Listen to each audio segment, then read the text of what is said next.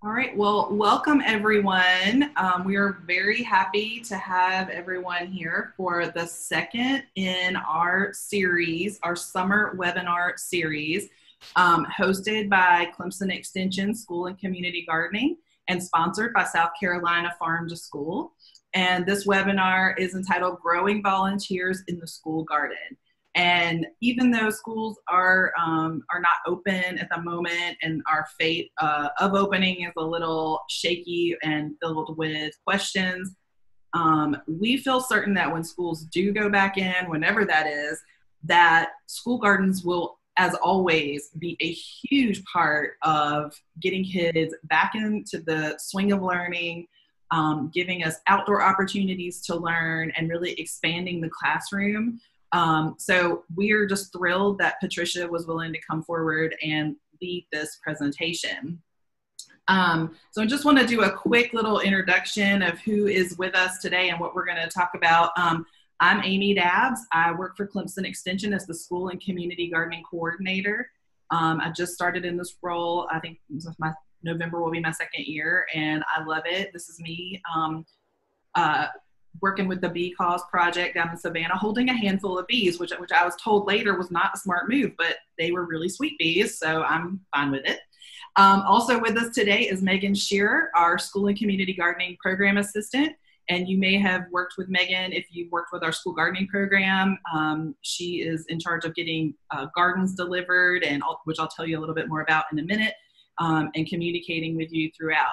And just as a reminder, um, we will offer if you are a south carolina licensed educator and you need renewal hours like district level renewal hours we will offer those. Um, we figured out this would be like a three hour um, renewal credit opportunity from clemson extension. So if you need those hours just let us know. We'll send you a certificate at the end. Um, we do have attendee reports so we just make sure you know that you were here for the bulk of the time also with us today is Ben Cease, the Farm to School Program Coordinator at the South Carolina Department of Education um, and longtime partner in crime with us here at Clemson Extension. And we're grateful to him and to his department for funding um, this program um, today and the, the other ones that we've hosted in the summer. We'll have another one next month. And um, he's going to tell you more about what he does, and he's going to be one of our presenters today. Tracy Miss Kelly with South Carolina Farm Bureau, Ag in the Classroom, uh, could not join us today. She uh, really wanted to, but she sent her presentation, so I will be presenting that for her here in a few minutes. Um, just a recording that she did, and you'll want to know uh, all about South Carolina Ag in the Classroom and everything that it offers if you are a classroom teacher or a volunteer in a school uh, garden situation because there are so many resources available through her programs. And then finally, last but not least, is our incredible presenter today, Patricia Whitener, who is the Greenville County 4 H Youth Development Agent. She is an amazing presenter. She's put a lot of thought and energy into today's um, presentation, but it, she comes at it with such exciting um, ideas and a lot of experience to back it up. Um, Patricia, I'm just going to tell you real quickly, has a um, Bachelor's of Science in Environmental and Natural Resources, a Master's degree in Wildlife and Fisheries Biology, and she's now working on her PhD in Youth Development in the College of Behavioral, Social, and Health Sciences. Um, if you know Patricia, you know she leads a very successful 4 H program in um, Greenville County with an emphasis on personal leadership, growth and development, and STEAM based learning. She has put a lot of energy into school gardens in Greenville County, and they have probably more school gardens than most other upstate um, counties. And she's done it all with the help of volunteers. So if anybody could help us um, grow volunteers in the school garden, it is Patricia. So we're so grateful to have her with us today. So we try to follow an agenda. Uh, we'll try to stay on track. Um, if anything, we might be a little ahead of schedule um, instead of behind today. But just to let you know, we will take a break after uh, Tracy's presentation. Um, I've, i kind of glossed over Megan a little bit, um, telling us more about the um, about the um, the webinar setup, but I think you probably have figured out by now that you can chat in the chat box And then there is a Q&A um, function on this webinar, and you can ask like content-based questions there. And those panelists who are um, not speaking at the time will try to answer your questions. And if we can't, we'll hold them for the speaker at the end. So um, if anybody has, um, you know, any questions, that's the best way. That's the best thing to do is to chat over in the chat box. So real quickly, I want to tell you a little bit about, um, about what we do here um, with the school gardening program that we offer at Clemson Extension. And this is um, one of my favorite topics to talk about. So I'm very excited um, to have a, a, captive audience today. Um, school gardening for South Carolina educators is um, a program that we started several years ago and we'll just, I'm just going to launch in. So we are part of Clemson Extension. Um, we are one third of the three pronged mission of Clemson University's land grant charter of teaching, research, and community outreach or extension. Our role is to help improve the quality of life for all South Carolinians by providing unbiased, research based information through an array of public outreach programs. Um, our work really supports the $42 billion agriculture and forestry industries. We work to strengthen families and communities and to improve stewardship of natural resources in the environment. We work to strengthen the connections between people and their food and expose South Carolina youth to opportunities in agriculture, science, technology, engineering, and math. So that's kind of where school gardening for South Carolina educators comes in. Um, according to a um, 2015 study, um, there are about 60,000 jobs in the field of horticulture and agriculture that come open every year, but only 61% of them are filled by qualified graduates. Um, so it's our goal through our programs, um, particularly in the horticulture and 4-H areas, is to spark an early interest in these horticulture related careers. The crazy part about this is that the average American can only name about 10 plants. So think about that for just a minute. Um, yet we rely on plants for the oxygen that we breathe, for the food that we eat, the medicine, fiber, shelter, recreation, and beauty. Students, a lot of students and their parents are not aware of the myriad career opportunities available in the fields of horticulture, despite being regarded as a critical field and one that could literally save the planet. Fortunately, there is a lot of research about school gardening and how it can benefit students. School gardens help broaden children's experience of ecosystem complexity. It teaches students about food systems ecology, especially through vegetable gardens, and helps shape students' environmental values. And more importantly, school gardens improve student test scores and school behavior. But there's still a lot of boundaries to engaging students in school gardens. Um, so our team of extension agents looked at how we could take a holistic approach to training, creating, sustaining, and incorporating successful gardens that can be utilized as outdoor classrooms. So that's really where we started. We had a water cooler conversation like maybe six or eight years ago where more than 50 calls had come into just one county office from educators who instinctively wanted to teach gardening to their students but weren't quite sure how to get started. And that's kind of where this whole thing um, began. So, our first step was to create an online training resource for educators, parents, cafeteria, nutrition staff, administrators, and volunteers that would help build basic horticulture knowledge and skills necessary to grow food on school grounds because it's not as easy as it sounds. the second was um, to model for educators and adults how to incorporate school gardening, gardening into STEM based classroom instruction. That means that we got um, Patricia on board. She was one of our first. Um, our first 4-H agents to get involved in this program, and she's just been the linchpin to making school gardening for South Carolina educators work. She brought um, so much to the program. I don't know how, where we would be without her. So, in every program that we offer now through the horticulture program, we always include a 4 H agent to come in and model a curriculum and get educators involved um, hands on. So, this is uh, from one of our hands on workshops that we, that we offer. And then finally, we wanted, we thought about how we could provide real technical support for school gardens to free teachers and school communities up to address the issues like child obesity, childhood obesity and academic outcomes for their students. So we began by marshaling um, Clemson's network of resources, including master gardeners, 4-H agents, horticulture extension agents, and other volunteers. And then we started looking at our partners um, who are aligned with what we what we're doing. Um, and there's so many. And our our partnership with Ben and the and Farm to School started. Um, we also partnered closely with MUSC um, Children's Health, the Boeing Center for Children's Wellness, which they will be joining us in August, and you can hear more about their programs and offerings and how they connect with us then.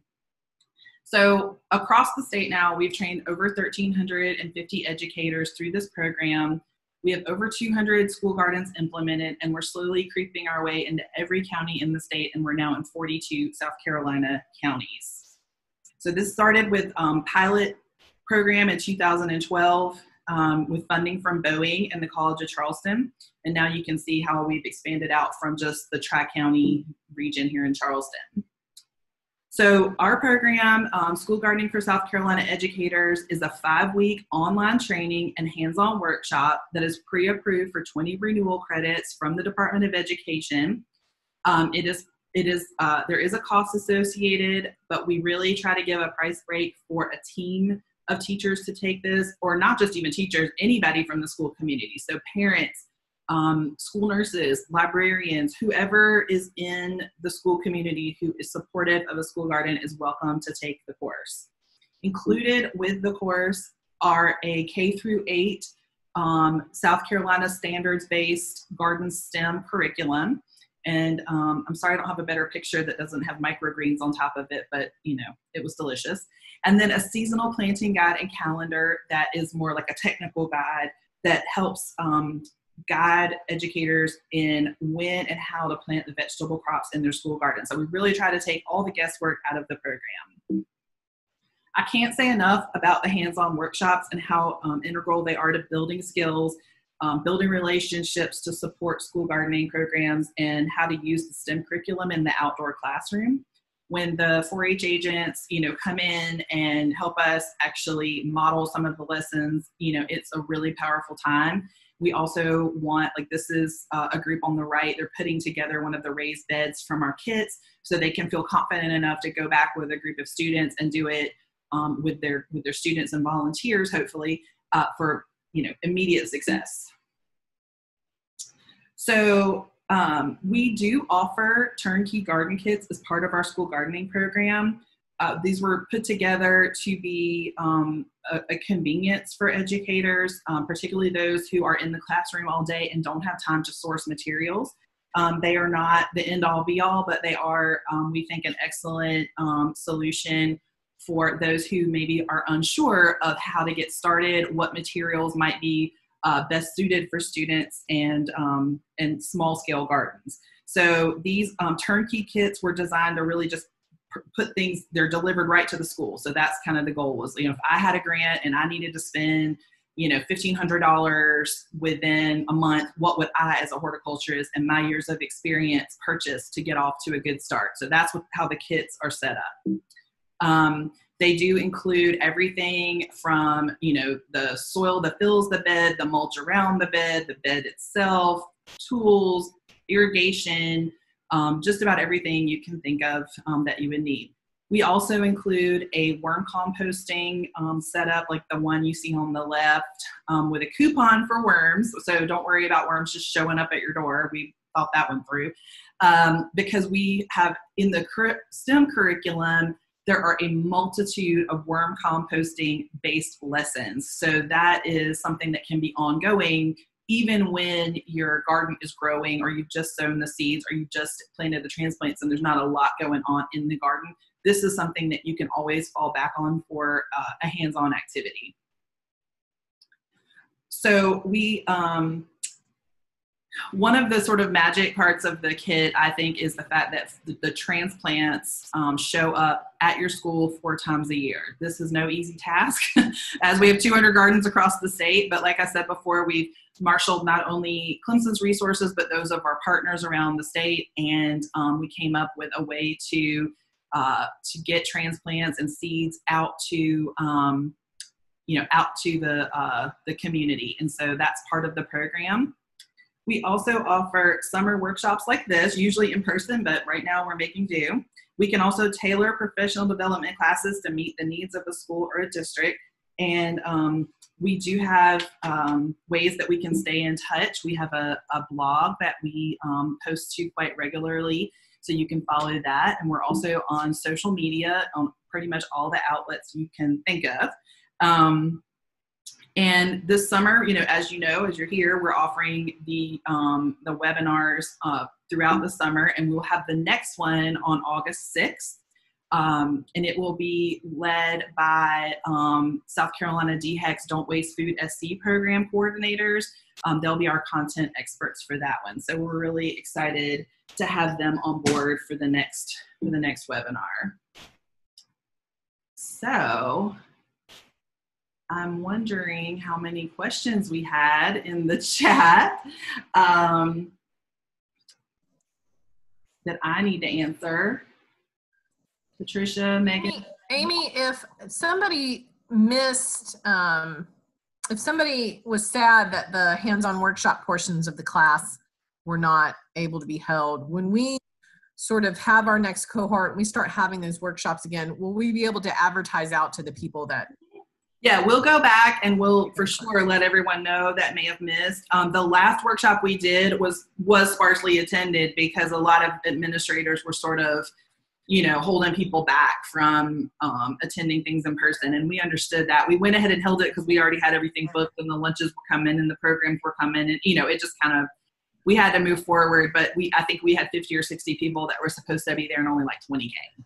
So I totally understand that. I can't. I mean, literally cannot wait to like just see everybody and welcome them back. But um, but yes, we will we will be in touch about that. So. Um, and then I think Ben is going to cover too. One of the other questions were how do you qualify for that turnkey garden kit? Yeah. And I think when Ben talks, he'll he'll cover a little bit of that and hopefully answer that question. And so, you know, we have there are a lot of ways to do that. You know, we have people we have some schools who have written outside grants like Ben's going to talk about in a minute some people go through the competitive grant program that um, that the Ben's uh, office holds, where they work with us directly on that, and they do 20 gardens per year through that program. But we also have some folks who are finding funds in other ways, like through PTAs and fundraisers, and you know, or maybe they just have a pot of money, you know, that their administrators like. Yes, you can do this. So we've had a lot of people come at it from different ways, um, and I should have elaborated on that we um, we don't just do school garden kits um, just like we're Lowe's or something. I mean, you have to go through the course first, and so you know we'll, we can talk about that more. So, Ben, I believe you are next on our agenda. Um, so I'm gonna let you. Um, real quick, Amy, just for some of those folks that stopped in late, we're just going to do a real quick uh, another reminder that this is a webinar. Um, if you have comments, please put them in the chat because we love you to have your comments in there. If you have specific questions so that they don't get lost and we can circle back and answer those later, please put those in the Q&A. Um, so comments in the chat. Um, if you have uh, specific questions, try to get those in our Q&A section and we will hopefully circle back to those um, as we go. There's a couple questions in the chat. Um, Wow. Uh, uh, BCCW. I'm not sure what that stands for, Joey. Um, I'm answering that one. I'll okay. answer in a minute. Okay, okay. Ben, I'm going to turn this over to you to share your screen and um, and present for us on uh, garden grants.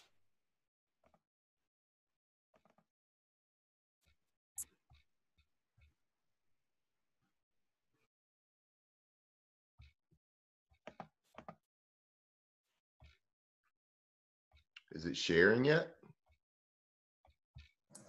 I got it. Okay, everybody good?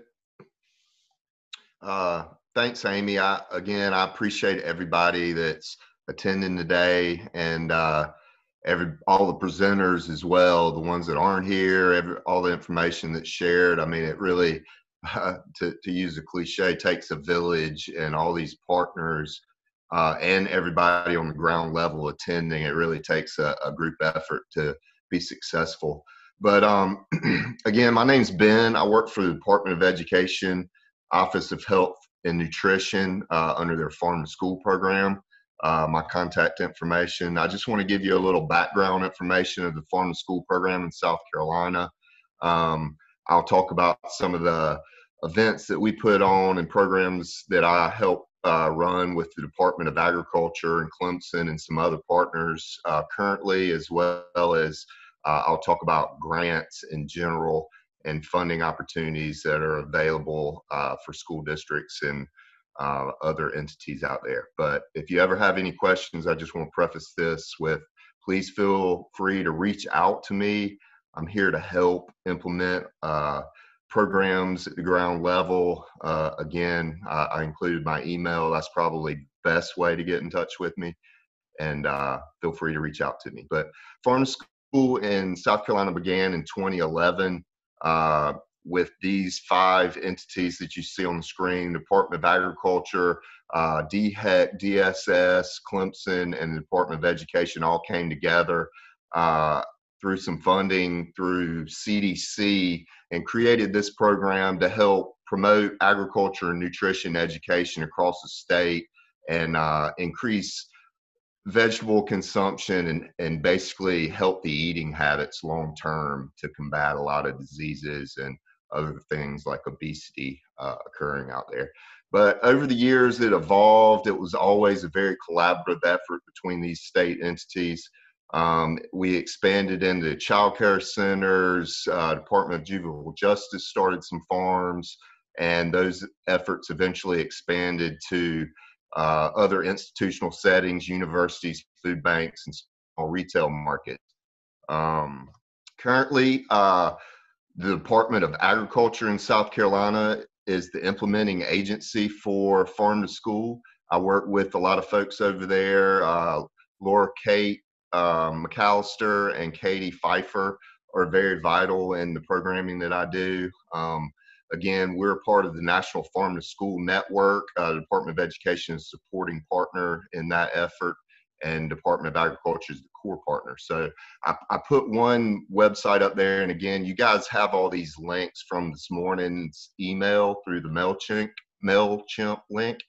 And uh, Farm to School has so much information and resources, the National Farm to School Network link that I'm talking about. Uh, it really, if you're doing research for a graduate degree or just want to learn basically about anything agriculture and nutrition based uh, under farm school, this website is a lot of information, probably more than you want. But um, moving on, uh, we have a website, South Uh, we do we have resources for teachers, food service, farmers, uh, again, we're trying to get more local produce in the school system. It's kind of with uh, everything going on right now, an interesting process, but that's really part of my job to help uh, food service staff uh, help procure more local fruits and vegetables for kids in the schools, as as well as school garden portion that Amy and, and Patricia and Clemson Extension are vital in, and uh, other projects as well. So uh, I'm sure all of you have seen this uh, symbol before. Again, like I said, working with the Department of Agriculture, it's very important to promote South Carolina uh, produce and support local farms. You know, farming is a very difficult profession. Um, South Carolina has a wonderful growing season, as a lot of you know, so you can get a lot of wonderful fruits and vegetables really throughout the year. We we can grow kale, collards all year long, and then in the summer with strawberries, peaches. Uh, who's getting some peaches right now? They're absolutely delicious. So, again, we try to promote this to kids, uh, brand uh, specific, like getting them to go to local farmers markets, to get farmers to come talk to your kids about what they do. Uh, there's a lot of a big gap in farm uh, employees. You know, a lot of the farmers are getting a lot older, so we we also need to encourage a lot of these younger generation uh, to get out there and, and, want to produce food. So, uh, if you want this symbol, we can. Um, you know, get this out to you, this logo and some other promotional materials. Uh, we have a uh, this website that you can fill out an application. Uh, this is another resource that we offer the Palmetto Pick of the Month. We have uh, a newsletter associated with each month with some nutritional information.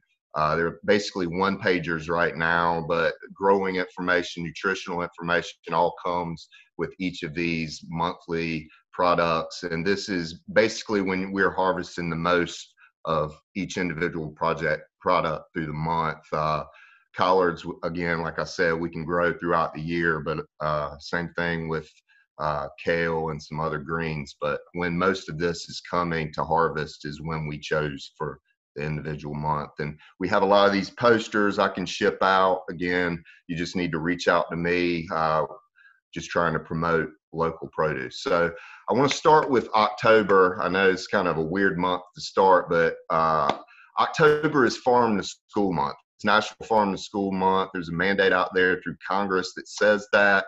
Uh, South Carolina, we try to promote a lot of things this month. I go out typically to a lot of schools and and uh, help them implement some programming around this month. We have a Make Your Play SC Grown Week that you can take the pledge and a lot of other resources and toolkits uh, that we can get to you to help uh, you do stuff at, at the ground level. Um, also, just to go ahead and jump into this, because there's always already been a question about this. Um, you know, the Department of Education recognizes health and eating habits, and school gardens is a vital part of that.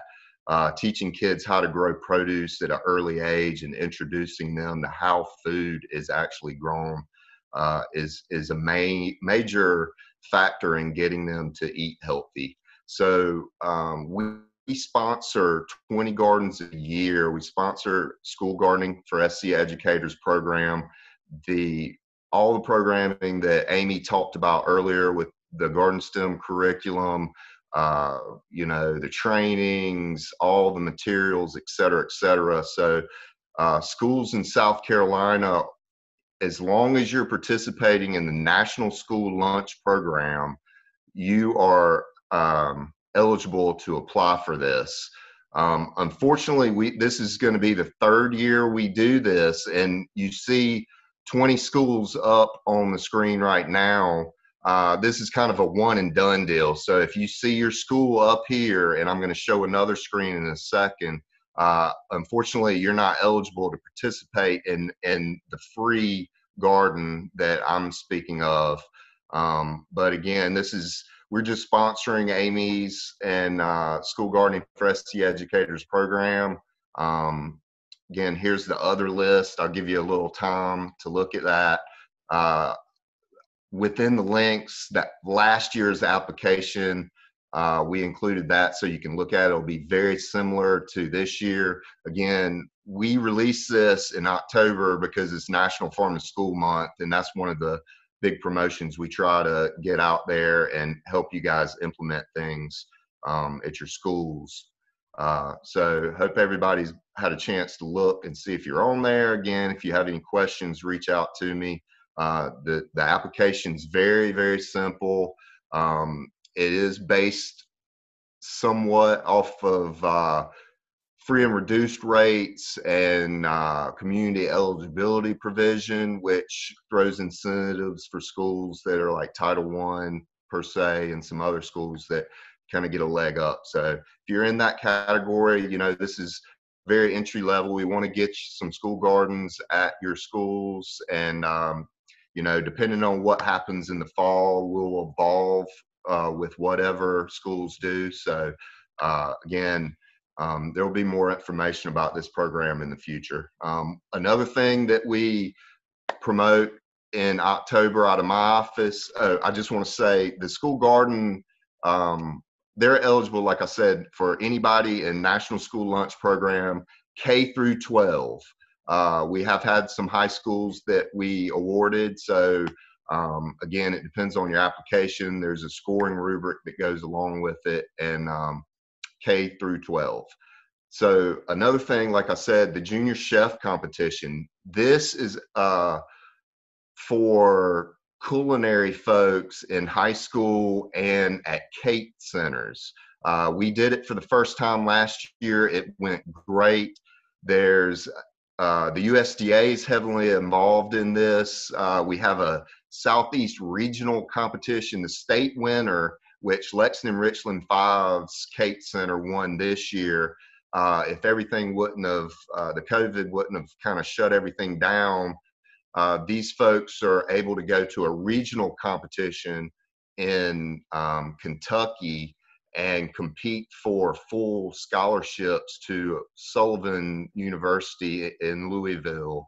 Uh, so there's a lot of scholarship money that revolves around this. Even the state winner gets uh, a portion of a scholarship if they want to go to a culinary school and uh, Sullivan's uh, culinary school is one of the top in the nation. So it's a very reputable culinary school.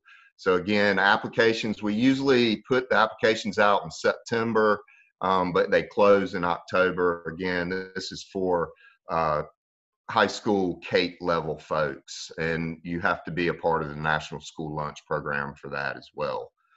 Um, one thing we do typically February, March. Um, again, like I, I mentioned earlier, I work very closely with the South Carolina Department of Agriculture, uh, Laura Kate McAllister with the Specialty Crop Growers Association, uh, and Katie Pfeiffer with the retail side. Uh, we put together a grower buyer meetup, pull together a lot of local producers, uh, school food service, anybody that wants to come to learn more about local produce and where to go, how to buy it, et cetera, et cetera. There's a lot of state agencies here to give uh, information as well. Uh, it usually takes place at um, the Phillips Market Center in West Columbia at the State Farmers Market. So it's a great event. Again, it's free. Um, so any questions, just reach out to me. Uh, we also, one thing that I do is a South Carolina Farm to Summer Challenge. It kind of got postponed this year. Um, just again, a lot of the schools out there participate in the summer programs that feed children, um, whether it's through what is called F, SFSP or SSO. Uh, you can reach out to your food service director if you need more information about that, but just try to help uh, those programs again feed local produce since summer is such a great time for that uh, to the kids through the summer through these entitlement programs. Okay, so I mentioned the one little, um, we'll call it a grant about, you know, through our office that supports Amy's program with school gardens. Also wanted to kind of I'm going to start with grants from a federal level and kind of go down through state and uh, local, just kind of give you some ideas of, you know, everybody needs money, right? I mean, you can't do any of this without money. And I want you to think really high level to start with. Some of you may be here, some of you may not be at this level yet. Um, but there's all kinds of federal grants out there. Um, let me show my mouse. I think everybody can see my mouse over here on the right is farm to school planning and implementation grants. Didn't want to do that. Uh, equipment assistant grants. Did it again. And community facility grants and loans. So those are what is available to public, private, Indian tribal schools. Just that little three blocks on the right side. And my whole point of showing this schematic is if you start partnering with nonprofits or state agencies or, or even businesses or other entities, city government, et cetera, that opens, depending on who you're partnering with, opens up all these other federal grants for you. So, like I mentioned at the very beginning, you know, it takes a village. Uh, working with other partners really opens the door for a lot of funding. So, uh, just kind of, you know, keep an open mind um, think outside the box who's in your area and it's really going to depend on where you are to what works, you know. So you have to evaluate your area, see who's willing to work with you, et cetera, et cetera, and find the specific grants that you may want to apply for. Again, this these are federal grants. They're fairly complicated. You you need to jump through some hoops, like get a DUNS number and some other uh, formal things that you will have to do to even apply to these grants. So it takes some time. You will need some help. I wouldn't try to accomplish some of these federal grants on your own unless you're very experienced with it. Um, like I mentioned, farm school planning and implementation grants, that is the one that I try to focus on the most because that is specifically meant for school districts. Uh, these are large federal grants from a year to two years. My office also does the assistant grants, equipment assistant grants to try to help you, you know, do more scratch cooking at schools. Um, planning grants, again, you have to think outside the box. There's so many opportunities. You really have to get your ideas on paper um, and really what works for you. I mean, you can try to procure more local foods. Um, a lot of programming around school gardens, obviously. Three school, two school districts actually received these grants last week. Um, Lexington Richland 5 here, and I want to read, I'm going to look at my other screen, but I want to read you their programming uh, and what they're doing with their grant. And also, Charleston County Schools uh, received $100,000 grants, both those districts did. So I'm going to briefly read you their synopsis. Um, the Charleston County Farm to School project will serve children ages 4 to 10 who attend five Title I elementary schools in Charleston County. South Carolina, the, the one year implementation project includes farm to cafeteria initiatives, school garden education, farm field trips, history, culture, and farming field days, and a community harvest dinner. So they got a hundred thousand dollars by submitting their grant, and again, that's pretty general, but uh, it had to do with school gardens. You know, it had to do with history, culture. They they really brought in a lot of programming, and uh, they were awarded. So that's great. Um, School District Five of Lexington Richland counties. They're doing a food waste challenge that will expand the district's farm to school practices by introducing food waste recycling into the school lunch program. Uh, the, the project will implement pre and post consumer food waste recycling at five schools for conversion into compost that will be used in school gardens and farms as part of the district's agriculture and biosystems program. So they're they're doing all inclusive again both both are my point of that is reading that is both are reaching more than one school for these federal grants. It's kind of a district wide program. They're including k through 12 as well as uh, some CATE programs. So you just got to include everyone uh, reach as many people as you can et cetera et cetera. These are 20 to 50 thousand dollars for the planning grants um, there is a match involved, but typically that can be in kind. Um, I don't want to get in too much detail about these, but uh, again, there's a two different tracks: a planning for folks that are really beginning, just starting, and an implementation track for folks that are a little farther along. And the implementation are up to a hundred thousand dollars. Again, all these have matches and can be over a one to two year period but you really need partners to make this happen. Uh, both those school districts do. I didn't read out their partners, but it's just not them.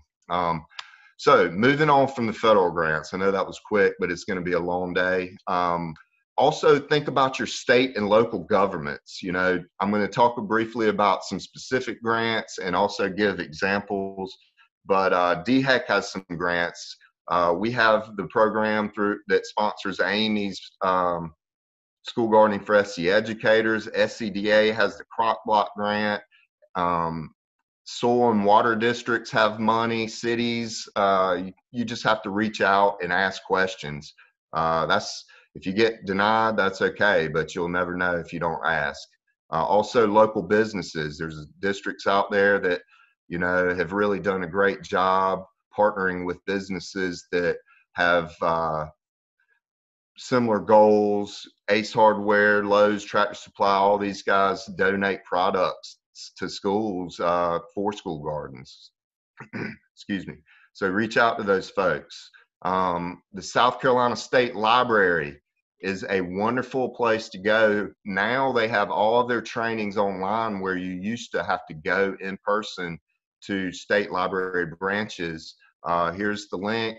Um, there's all kinds of webinars and tutorials on this link.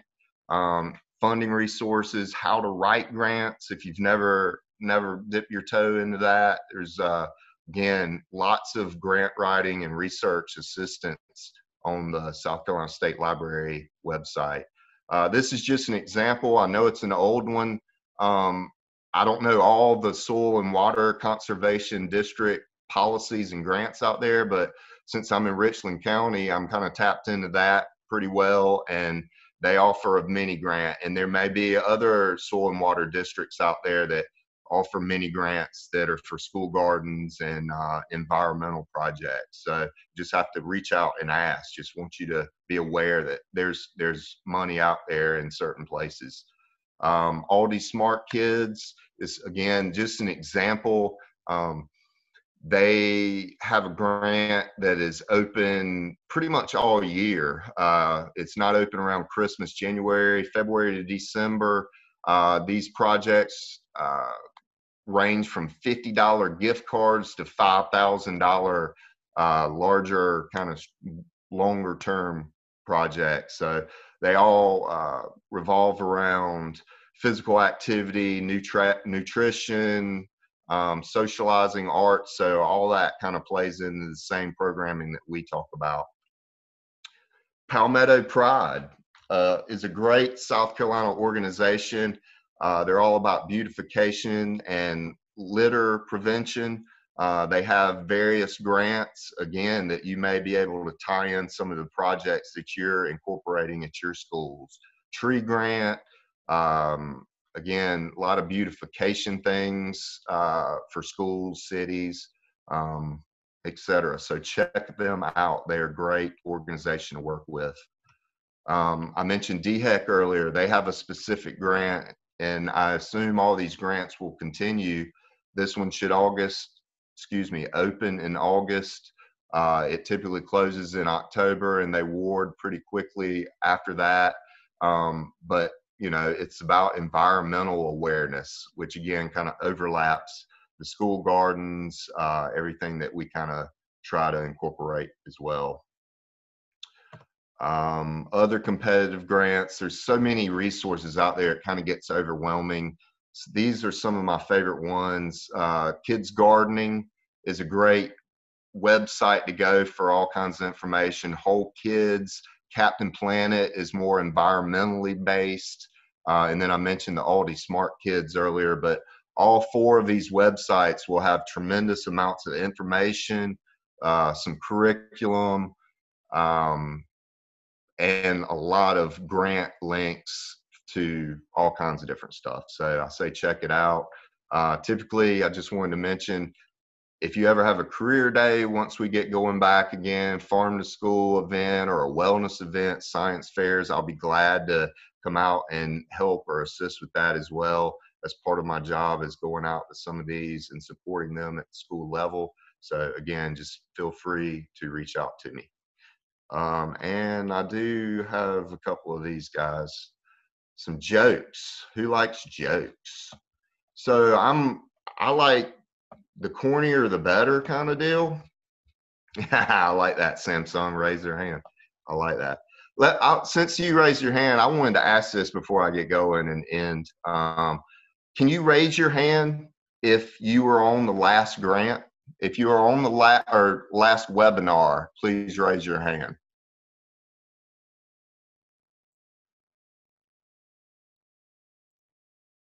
Awesome. Okay, cool. Well, thank y'all. I just wanted to try that out. It worked good. And uh, I appreciate everybody on this one and all of y'all that have been on both of them. Again, like Amy said, we'll have a third one in August. please uh, join us then too. So I added a couple uh, jokes too. Um, I know I'm kind of carrying on here, but I'll be quick. So what do you call again? I like these corny. These are good kid jokes. What do you call an alligator in a vest? An investigator. Yay. Um, why should you always knock on the fridge door before opening it? Just in case there's a salad dressing. And I added a few new ones. Why did the fungi fungi leave the party? There wasn't mushroom. Uh huh, huh, huh. Okay, where do cows go for lunch? The cafeteria. Ha ha ha. Here's another one. What did the cow cross the road, get to the other side? What did the mama cow say to the baby cow? It's past your bedtime. And finally, what did you get if you cross an angry sheep and a moody cow? An animal that's in a bad mood. So thank you, thank you. That was a bit much. Wow, thank you, Ben. That was that, that was something else. It was. Let me tell you. So again, please reach out to me, especially about the grants. Uh, I'll be glad to help you, and uh, y'all have a nice afternoon. Ben, the comment. You got to go back and read the comments about your. I know, I do. I know. I'm dragging time, so that kind of went lengthy. I apologize. I love it. All right, thank you. Okay, so I'm gonna um, I'm gonna pull rank on the uh, on the schedule a little bit, and I'm gonna let everybody take a break now, and then we're going to do um, we're going to open the Ag in the Classroom video, and then we're going to go straight to Patricia's presentation. So I want to invite everyone to um, take a quick moment to um, take a break. How's that sound?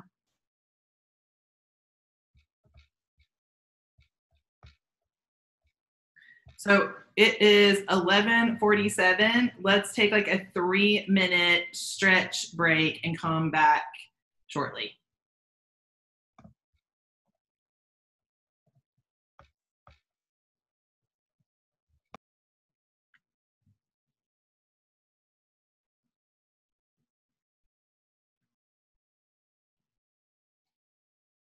We'll come back at 11:50. Is 3 minutes long enough?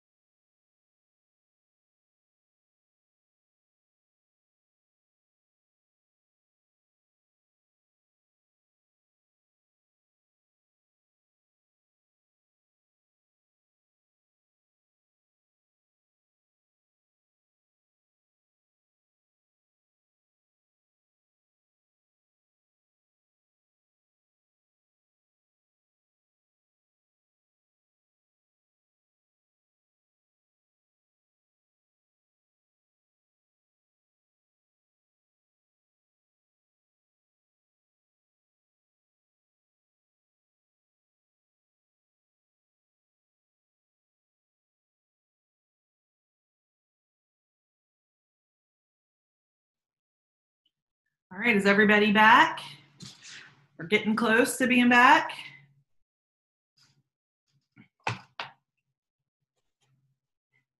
Ben, you ready? Has it been three minutes? I think it has been. Okay, well, I am going to share our um, colleague, Tracy Muskelly from South Carolina Ag in the Classroom, who would dearly love to be here today, but who had to um, do uh, meet a farmer, believe it or not. So um, I'm going to start her presentation and then we'll get started with Patricia. Good morning, everyone. My name is Tracy Muskelly, and I am the Director of Ag in the Classroom for South Carolina Farm Bureau. I'm sorry that I was not able to be live with you today. I had another obligation um, that I had to attend to, so um, I wanted to make sure that you were able to get this information because I believe it's very valuable and I believe it's very useful for you as educators or even community members. Uh, know that you are learning lots on this webinar. Um, Amy is a great resource to have and, and those folks that are on today and I know that you will walk away with many new ideas and new knowledge that you can implement in your classrooms. So, who am I? Well, I'm a former classroom teacher. I've taught kindergarten, first, second, and third grades here in South Carolina. I'm early childhood certified, and I also have experience as a school based literacy coach. I do not have a background in agriculture. Um, I'm married into agriculture. My husband and his family have a small beef cattle operation, and um, my worlds kind of came together with uh, when I saw this job posted, and so here I am, um, almost two years later in this position. Yes, I told you I work for Farm Bureau, but I promise I'm not here to sell you insurance. Um, South Carolina Farm Bureau is a grassroots membership based organization, and yes, insurance is a membership benefit. So if you do have South Carolina Farm Bureau insurance, you are a member. Um, but there are many more facets to this organization than that. Uh, this was started in 1944 by a group of farmers who really wanted to band together to have their voices heard in the General Assembly because, very much like teachers, there are um, there is not a lot of representation uh, on their behalf, and so sometimes policies are not um, ag friendly. And so this organization really advocates for farmers and for rural South Carolina. Um, you do not have to be a farmer to be a member. Uh, there are membership benefits, like I said, um, insurance is one. There are discounts on many different places, um, like uh, hotel discounts, car rental discounts, discounts to the Riverbanks Zoo, um, all kinds of different things, and you can actually find that on our website. But Mr. Harry Ott is pictured here. He is our sixth South Carolina Farm Bureau president, elected in 2015. He is a row crop farmer from Calhoun County, and um, he and his brother grow cotton corn, peanuts, all sorts of things. But Mr. Ott has a diverse background and that he actually started in education, and I really appreciate that because he has that kind of teacher brain, um, but he also has policy knowledge. He was a member of the South Carolina House of Representatives for uh, a while and served on many various committees. And then in 2013 was actually appointed to be the director of the Farm Service Agency here in South Carolina by the Obama administration. So he's a farmer. He has that educational background and that policy knowledge to be a great leader for our organization. Now, what is ag in the classroom? So this program um, was actually chartered in the 1980s. It's a, it's a national organization, National Ag in the Classroom, um, because there was a trend of more and more people moving away from the farm, which in turn, um, people didn't know where their food and fiber comes from. Uh, spoiler alert, it doesn't just show up at Bi-Lo or Food or Whole Foods or anywhere that you shop. There's a lot of work that goes into it before it gets there. And so um, this this organization was created to increase agricultural literacy and it looks different programs from state to state um, look different in what they do but their mission is pretty much all the same. In South Carolina, we are under the Farm Bureau umbrella, and that's the case in about half of our 50 states. And then in the other half of the states, it's either associated with a land grant university or it's State Department of Agriculture. So, why do we need to talk about ag? Well, we all like to eat, right? I do, I know anyway. Um, but farmers are only 1% of our population. And, you know, the average age of the farmer is about 60 years old in America right now. And, and that worries me, and that, um, you know, there are more people being born every day, less arable land um, that we have to work. And, and this is a this is a real STEM problem if there ever was one. You can see from this graphic um, in the early 1900s, the average American farmer fed anywhere from 9 to 10 people, which, you know, what we know historically about family size, that was probably their immediate family. In today's world, the average farmer feeds anywhere from 155 to 165 people. Insane farmers are having to do more with less than they've ever done. And I think this this uh, information can help engage students. You know, um, a lot of agricultural topics, just like Amy School Gardens, are very hands-on.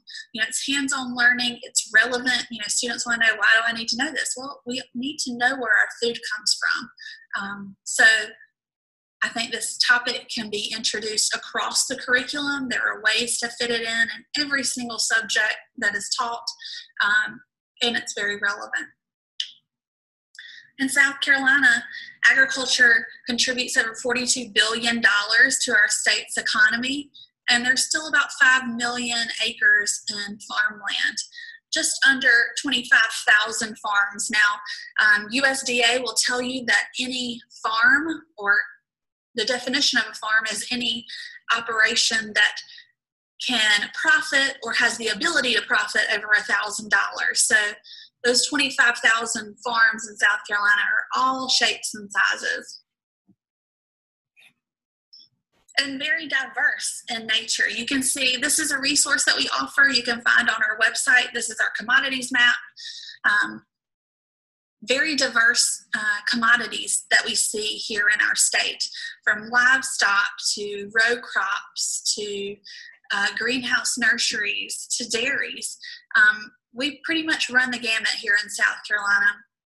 And you can see from our state uh, the diverse landscape that we have. You know, we have a lot of livestock in the upstate. Well, why? Because it's not very conducive to growing a lot of row crops. Um, a lot of our row crops are right here in this I-95 corridor. That's where you'll see your your cotton and your peanuts and your corn being grown um, in large numbers. And then, you know, we have the mariculture industry on the coast. So very diverse and interesting to see what all we have. So what can we do to increase ag literacy? What do we offer to meet our mission there? Well, first, we offer lesson plans from National Ag in the Classroom to our website to American Farm Bureau. At agclassroom.org, you will find under teacher resources the curriculum matrix, which is hundreds and hundreds of K 12 lesson plans that are aligned to national learning standards such as Common Core or Next Generation Science Standards. And when I say lesson plans, these are actually like mini units because there are multiple. Um, multiple activities that are included in this one lesson plan. So really two to three days sometimes worth of material. South Carolina Farm Bureau under our AITC tab, you can also find lesson plans, and these are aligned to state learning standards. Most of those are K 8 focused. Um, as we leave the high school um, ag teachers to um, really hone in on agriculture in their classes. And then American Farm Bureau also has teacher resources and lesson plans available. So I highly encourage you to um, browse these sites and see what you can find. Um, the best part about this are all these lesson plans are free. They're available online um, for free. You don't have to pay anything. On our website, we also offer an initiative called Book of the Month. And you know, I told y'all reading is my jam. I love literacy. I feel like we can integrate literacy across the curriculum just as we can agriculture. And so I started this program um, January 2019. And basically, we select an ag accurate children's book, one that really shows farm life or um, is accurate in its portrayal of farm life, not talking animals and such like that. But it comes with a lesson plan or that mini unit that is aligned to South Carolina state learning standards. It includes ag facts and discussion questions with, that go along with the book, but then a lot of activities that encompass different uh, subjects across the curriculum. Like you'll find probably in the milk makers, I believe there was science, social studies, and language arts um, standards. Um, included in that lesson plan. So, and I also try to um, integrate lessons across different grade levels. So, for instance, the milk makers, I think, were was aligned to K three standards. Um, no small potatoes was aligned to two six standards. So, a grade level span. But basically, we sell these for five dollars. The books and they come with a nice printed copy of the lesson plan. But let's say you already have the book. Well, we archive the lesson plans, the PDFs on our website, so you can navigate to our scfb.org um, page under AITC and click Book of the Month. And down at the bottom, you'll see the archives pages. Um, lots of good information here, lots of um, hands on activities for students. We also offer professional development. So this summer already we've hosted three uh, virtual workshops, and in July we have actually three more starting on the 21st of July and then on the 29th and 30th. And basically, our workshops are um, set up similar structurally, but all include a farm tour and then you'll hear from industry experts. And normally, if we were in person, we would do um, lesson or model lessons for the participants. But because we're not in person, we've had to kind of change that a little bit to keep it engaging as possible. And so there is a collaboration time with peers where you'll get to talk about integrating agriculture in your classrooms. But those workshops are actually worth 20 renewal credits for any educators in the bunch, and they are free this summer. So there's still time to sign up for our July workshops if you're interested. Um, National Ag in the Classroom also offers professional development, normally in the, the form of a conference in June of every year. Um, that was not able to happen this June, so they had virtual conference um, as well. But next summer, hopefully, things will be back on track and we will be visiting Des Moines, Iowa for that conference. It's open to any anyone. I mean, you think about it volunteers, educators, 4 H personnel, any any body that works with children and, and helping to educate them on agriculture can, can attend this conference. Um, I think the registration fee is like $435, but that also includes several meals, and um, a farm tour, which I really enjoy seeing how diverse agriculture is in other states. Um, and Iowa, of course, is big farm country. Uh, on a large scale compared to South Carolina. So I'm interested to see what it looks like there and, and see some different types of um, agriculture operations. And then American Farm Bureau also has professional development opportunities. Um, actually, they have an on the farm STEM program that they uh, host every summer. The, this is actually beef focused, was paid for by beef checkoff dollars. Um, so every time a farmer sells cattle, a portion of that goes to this checkoff program, which funds research and educational opportunities. So this is actually free for teachers, and we had two selected this year um, that uh, professional development was actually moved to September, so I'm hoping that we still get to attend that, but um, if not, there's always next year. and I told you a little bit about our organization with Farm Bureau. So we do have uh, grassroots volunteers. So across the state, we have 47 county Farm Bureau boards, one in every county, two in Horry County. And these volunteer leadership boards, boards of directors, are made up of farmers or of ag enthusiasts in that community, um, people in agribusiness. So basically, um, they're each uh, their own entity and they each uh, have a budget and, and those sorts of things. And they look for ways to be involved in their communities. Um,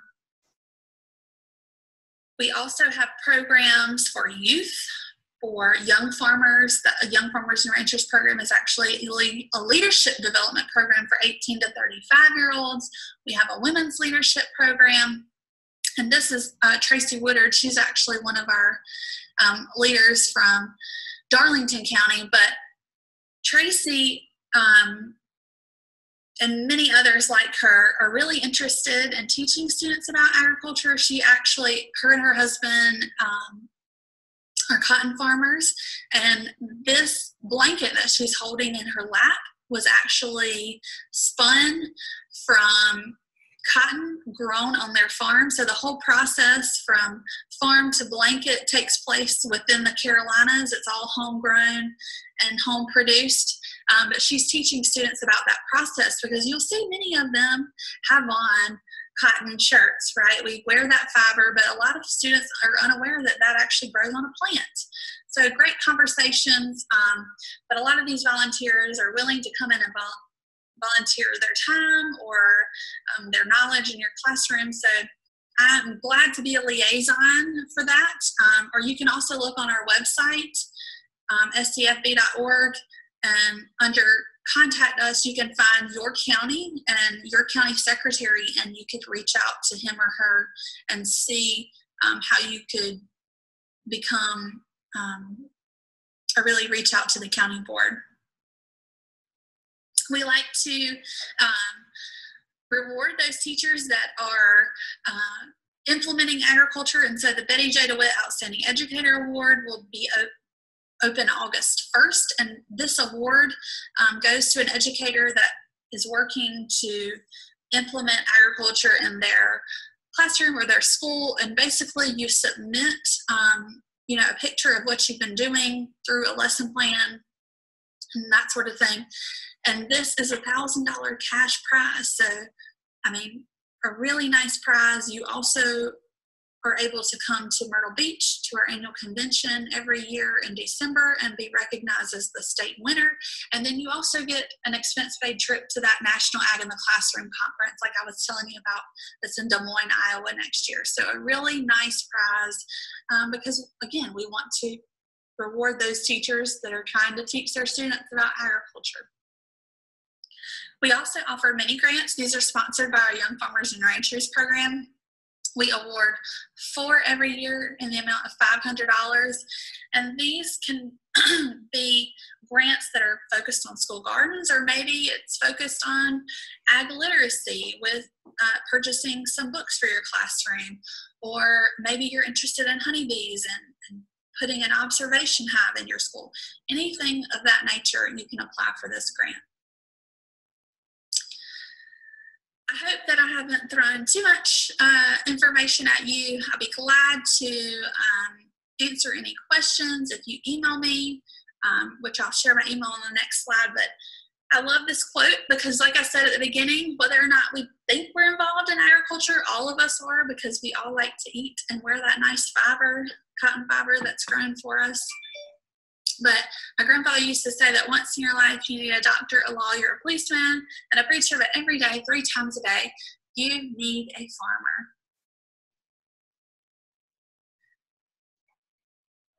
Uh, I guess I did not include my um, email address on this slide. So, um, Amy, I will send you Okay. she did forget to send her email address or put it on the slides, but we included it in our resource roundup email that we sent earlier this morning. And um, if you missed that, we'll be sending that out again later. So um, we love working with Tracy, and I, I, could tell there were a lot of questions in the chat box uh, while I was sharing my screen that I couldn't answer, but I know that uh, Megan and Ben and Patricia have been answering all those, and um, we appreciate that. So uh, Tracy is, um, like I said, she just uh, she texted me uh, earlier. She is uh, on farm and wishes she could be with us, but I told her she has achieved being in two places at once. So um, we've all tried to do that, right, and and failed. So Patricia Whitener, you're up, my friend, and we are so thrilled. Can you yeah. are you able to do what you need to do? Um, well, actually, real quick, um, I don't know about you guys, but I am a little bit of a squirmy worm, and I know a lot of the kids that we guys that we deal with are also as well. So if I want to invite everybody just to stand up real quick, and that includes my panelists, we can see okay. you. Okay. Just stand up real quick and uh and do a little walking in place with me and i mean okay you guys I, literally i mean stand up like get up stand up do a little walking in place. Okay amy's discoing. That's right on. Just do this what you asked. Walking in place. When i say snap you're gonna snap. And when i say clap you're gonna clap. All right? So if you're walking in place you're walking in place you're moving those hips. All right snap. See those snaps. Come Wait, on, people. Both at the same time? All right, snap, clap, snap, snap, clap, snap, clap, snap, clap. Keep walking, snap. All right, you guys did that pretty well. I'm sort of impressed. All right, yeah. Dog on your on your lap. It's a little bit hard. No, no, no, you're not done yet. Okay. You're not Get okay. up, get up, get up. Okay. That was the first initial. You got that down. Now, this time, when I say snap, you're going to clap instead. And when I say clap, you've got to snap. Okay. So start your walking in place. Start your walking in place. And remember, when I say snap, you clap. And when I say clap, you snap. All right? I'm going to get this wrong, I know. Clapping, snap, clap, snap, snap, clap, snap, clap. Look at that. We can't do it. Okay. Face. Let's pumping now. All right, good. That's the point. All right. That is um, a really easy something to do. As you guys know, engaging kids um, virtually is difficult. I'm sure most of you guys have um, uh, found lots of interesting uh, ways to keep your kids moving and motivated. Um, you know, just for us, gosh, I could sit in the front of the screen screen all day long and not realize it. Um, Amy and I were talking. It's really beneficial to if you have a phone call to get up and move um, while you're on that phone call. Um, I do have my coworkers, my furry coworkers that keep me reminding me to get up and move around a little bit as well. So when I do jumping jacks my Fitbit buzzes and I do jumping jacks, my dogs freak out. They don't know what I'm doing. So um, I have to go hide in the bathroom to do jumping jacks. Well, so my name is, oh, yeah. My name is Patricia Whitener, and I will go ahead and do our screen share. Is that up already? Got it. All right. And um, I am, as Amy said, she gave me this amazing, wonderful introduction. I am the um, Greenville County 4 H agent, um, which is the most populated county in our whole state. and it's just me. Um, we uh, rely heavily on volunteers. So, one of the, the things that has qualified me to do this is not only um, do I manage volunteers and rely on volunteers in order to have a successful program? But I also recently completed um, a volunteer management training course. Um, it was a seven week course. We met twice a week for four hours.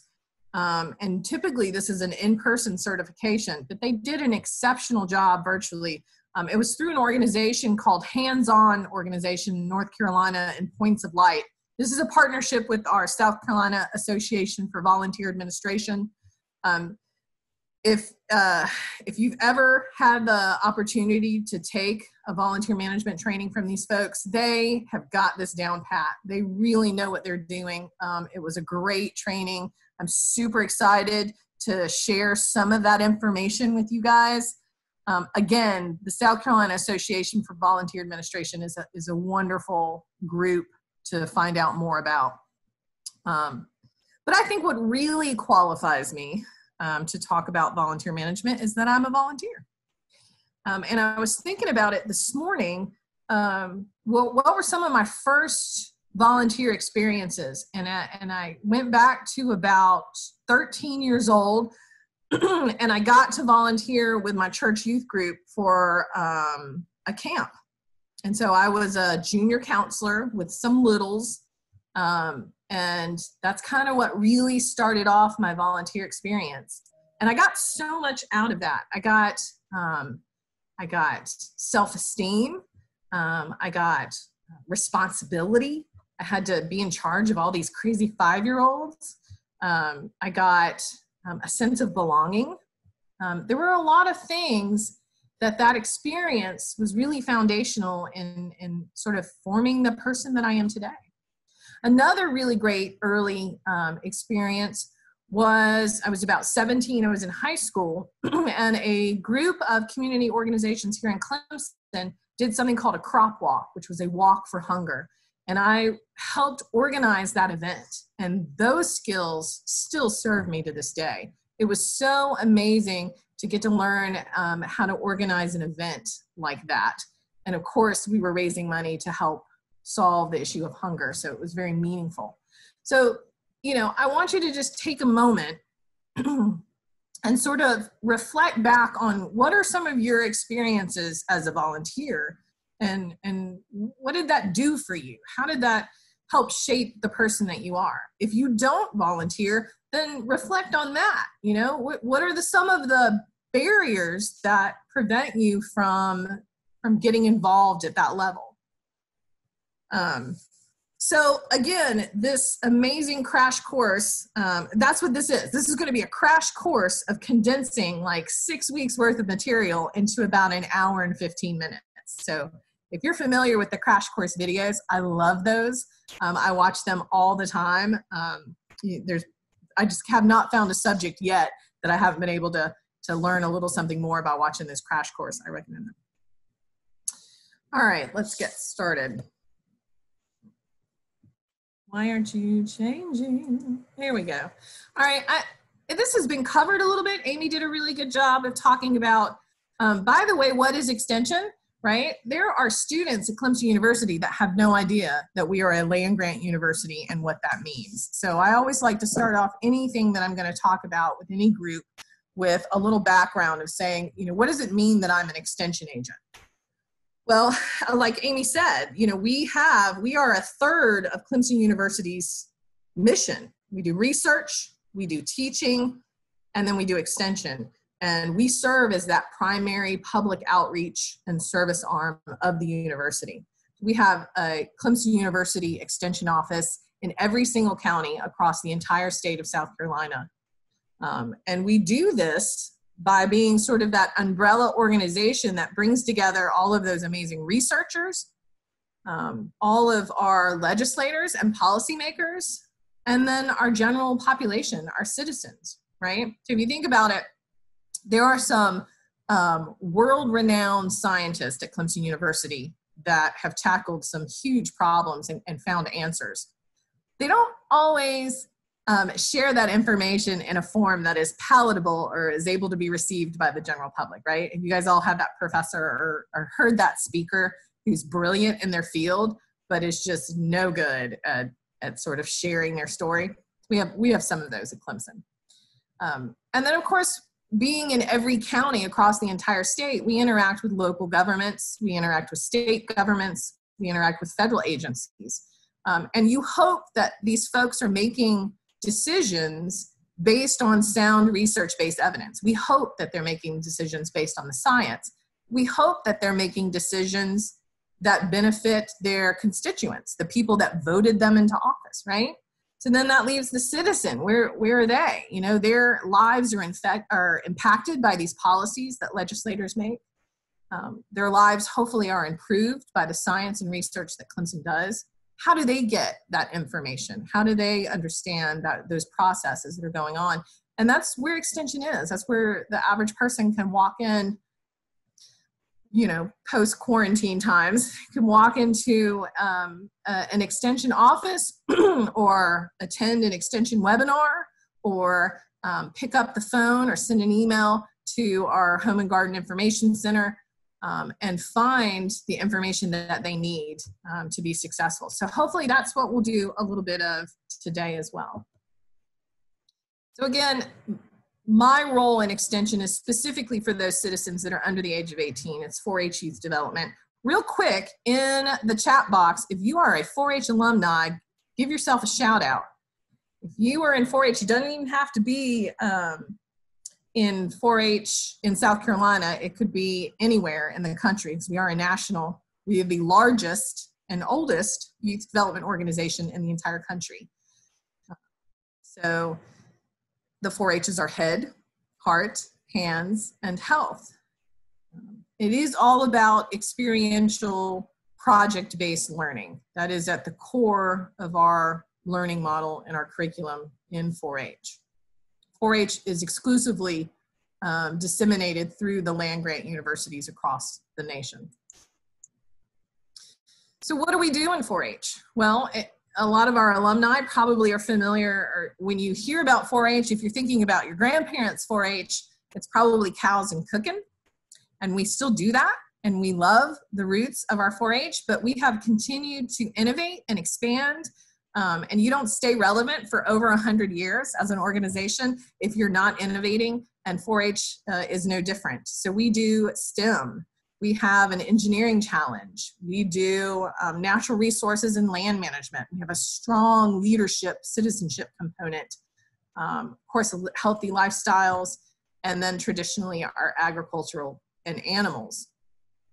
Now, I uh, would love to say that I am an expert in all of these fields, but that would not be true. I have to rely on a volunteer base to help me disseminate all of these different project areas.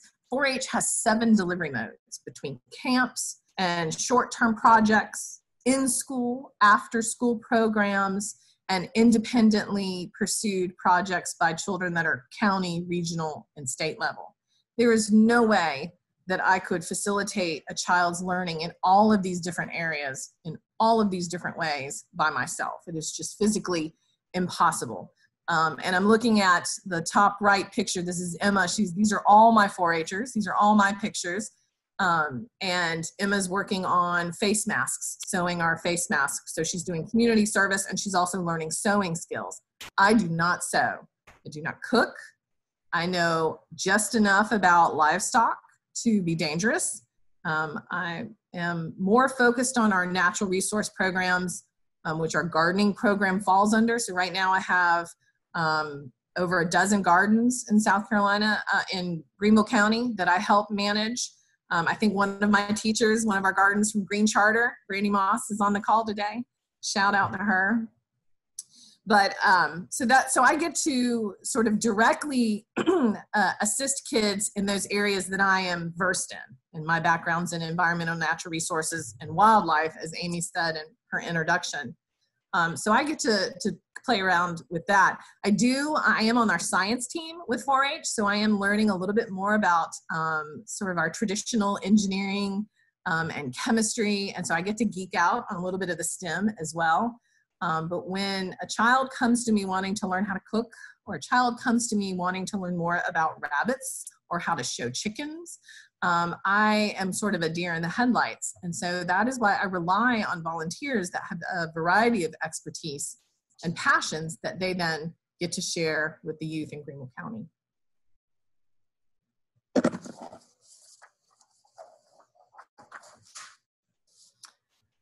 I'm not sure where that came from, that symbol came from.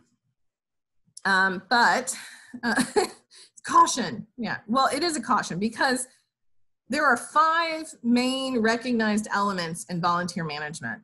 Um, and there is no way that we will be able to do a deep dive, dive today in all five of these. I wish I could say that after today's seminar that you are going to be completely empowered to be uh, a certified volunteer manager. That is not realistic. That is not going to happen. But what we can do is introduce you to these core concepts that will hopefully help you think about uh, your garden program, your school garden, and how you're going to engage volunteers in your area a little bit differently, right? It, it really is just about intention. So go ahead and throw out the expectation that you're going to get some sort of magic bullet, and all of a sudden, after the seminar, there's going to be this line of volunteers at your school knocking down the door waiting to be a part of your garden. It's not realistic.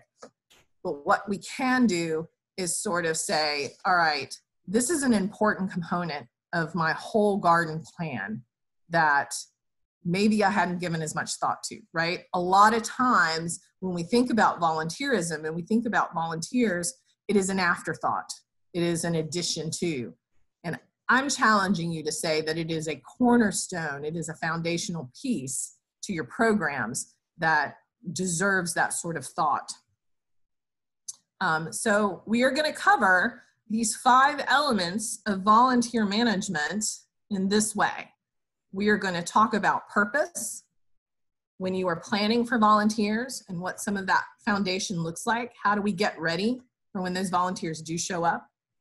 We're going to touch on recruitment um, and we'll kind of circle back to some of the things that Ben shared as well about just knowing who your community is, right? Many hands make light work and it does take a village. Um, and then we'll just briefly cover training appreciation um, and supervising and evaluating. And some of those words kind of make people tense up, like training or supervising, even evaluating. Some of us are, they, we tense up when we hear these words. And um, they're important pieces of the, of the puzzle. We have to take into account all of these elements in some way. Um, certainly not going to be experts or be able to do a deep dive into all of these today but um, it, it's something to think about, some food for thought for sure. All right. So down at the bottom, um, or I'm going to pull up a poll really quickly. I'm going to launch this poll. You guys see that? And if you would, go ahead and answer that question. I know not everybody's a school. We've got some, some other visitors here today in the webinar, but whatever it is that you do, whatever your organization is, try to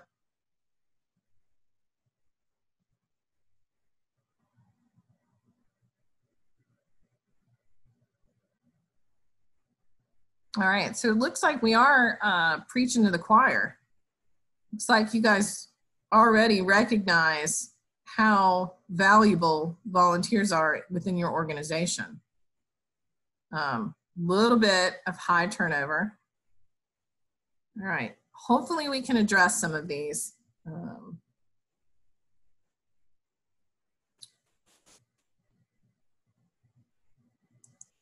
all right. So when you're planning for volunteers, it's really essential that we understand um, the real value of a volunteer in our program, whatever that may be. So I'm gonna launch another quick poll. So it sounds like over half of you are recognizing that your volunteers are indispensable. How, how are you using them? Why are they important to your garden? Wow. Okay.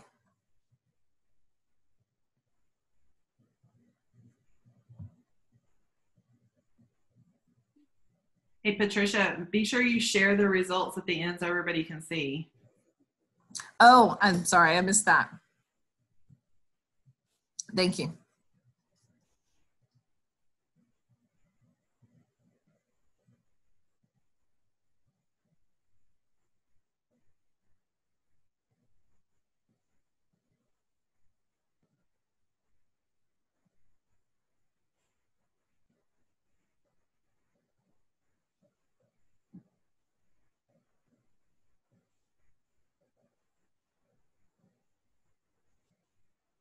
Okay. So,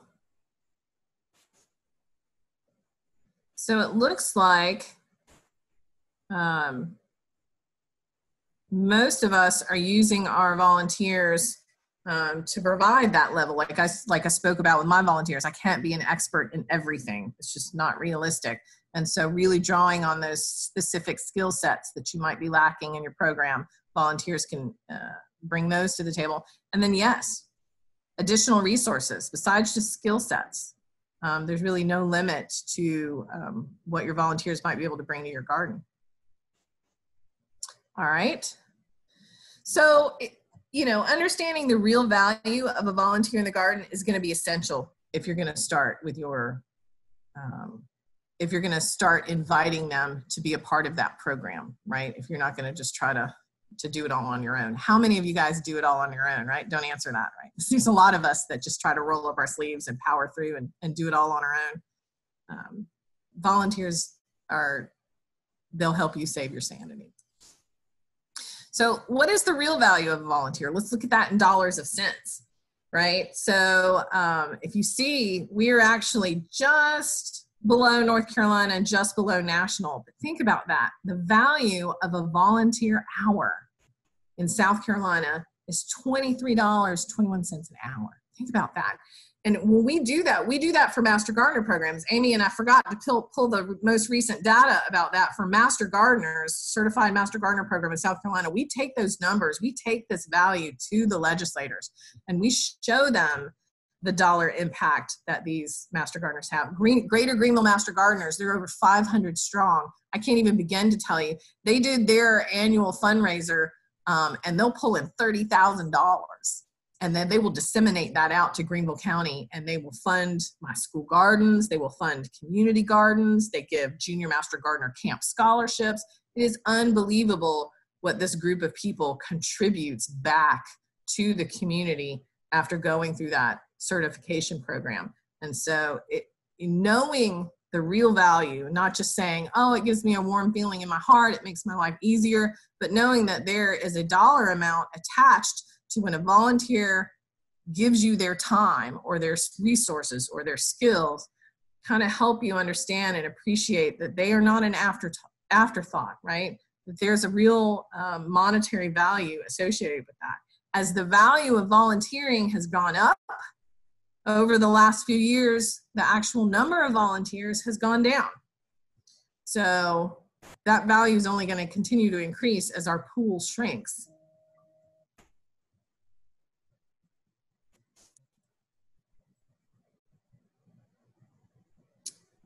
Um, actually, let's do our Mentimeter right now. So I got another little question I'd like to ask. Um,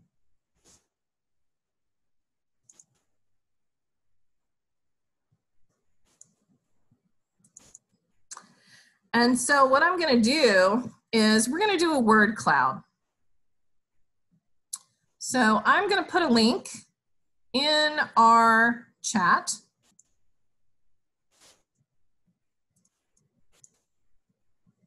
And I want you guys to click on that and enter, answer the question and enter in your word.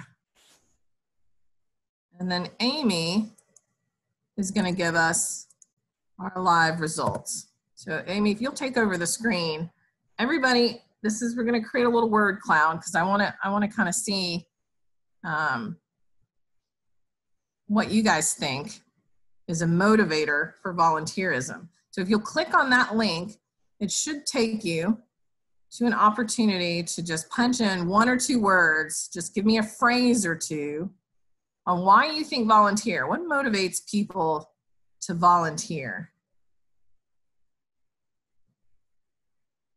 So in the chat, you should have a link that takes you to menti.com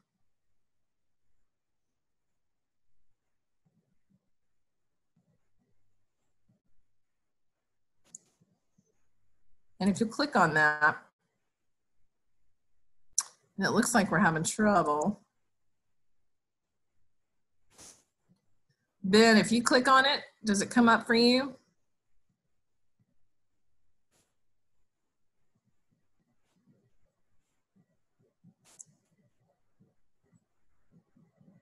So you, you should get a screen that says, why do people volunteer? Just enter a word.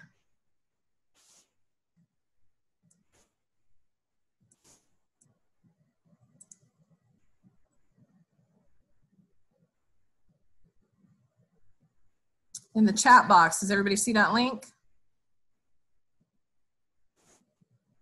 Ah, excellent. Loverly. Yeah. Yeah. So we've got community, we've got help, compassion, got fulfillment is jumping out. Satisfaction, that's an interesting word. Um, love, I love that. Right. Absolutely. These are all good motivators for volunteering. To learn So, more. Yeah, this is a de- say it again. to learn more you know a lot of master gardeners you know come to that program i can say that because i'm a former master gardener coordinator you know they came to learn but they stayed to help so i think that's a good you know a good reason Yeah, I, I think all of these are really valid reasons. Um, and I love that Dinah and Dolly were in there when we tested that out. Um, those are my dogs y'all. Amy, Amy Dabbs rescue dogs' names in there. Um, so, okay, we've got some more words. Great. Yeah. Obligation. Okay. Uh, feel guilty when you're watching everybody else contribute, so you got to jump in there too. Yeah. I, Well, I identify with. Yep. all right i'm gonna stop sharing now patricia so you can have the Yeah. You can go ahead back. That's great. Thank you guys for that. Mhm. And share screen. Okay. So those were all really wonderful reasons um, that inspire people to volunteer. This hands-on group that did such a great job with our management training series, they say that to volunteer is to choose to act in recognition of a need, right? You see a need, you want to address it. Um, it's an attitude of social responsibility, right? And I saw that in some of the words there, right? There's a sense of wanting to give back, wanting to contribute, wanting to be a part of that community. It's not at all for any sort of monetary profit. Um, and it is a sacrifice in some ways. I mean, you think about how valuable time is to all of us um, and how limited some of us resources are um, to take that extra step, you are going beyond just a basic obligation of being a good person. You are you are taking it one step further when you are a volunteer. Again, this is all about understanding the value of volunteers. If we don't start here, then all those other elements are going to be built on a foundation of sand.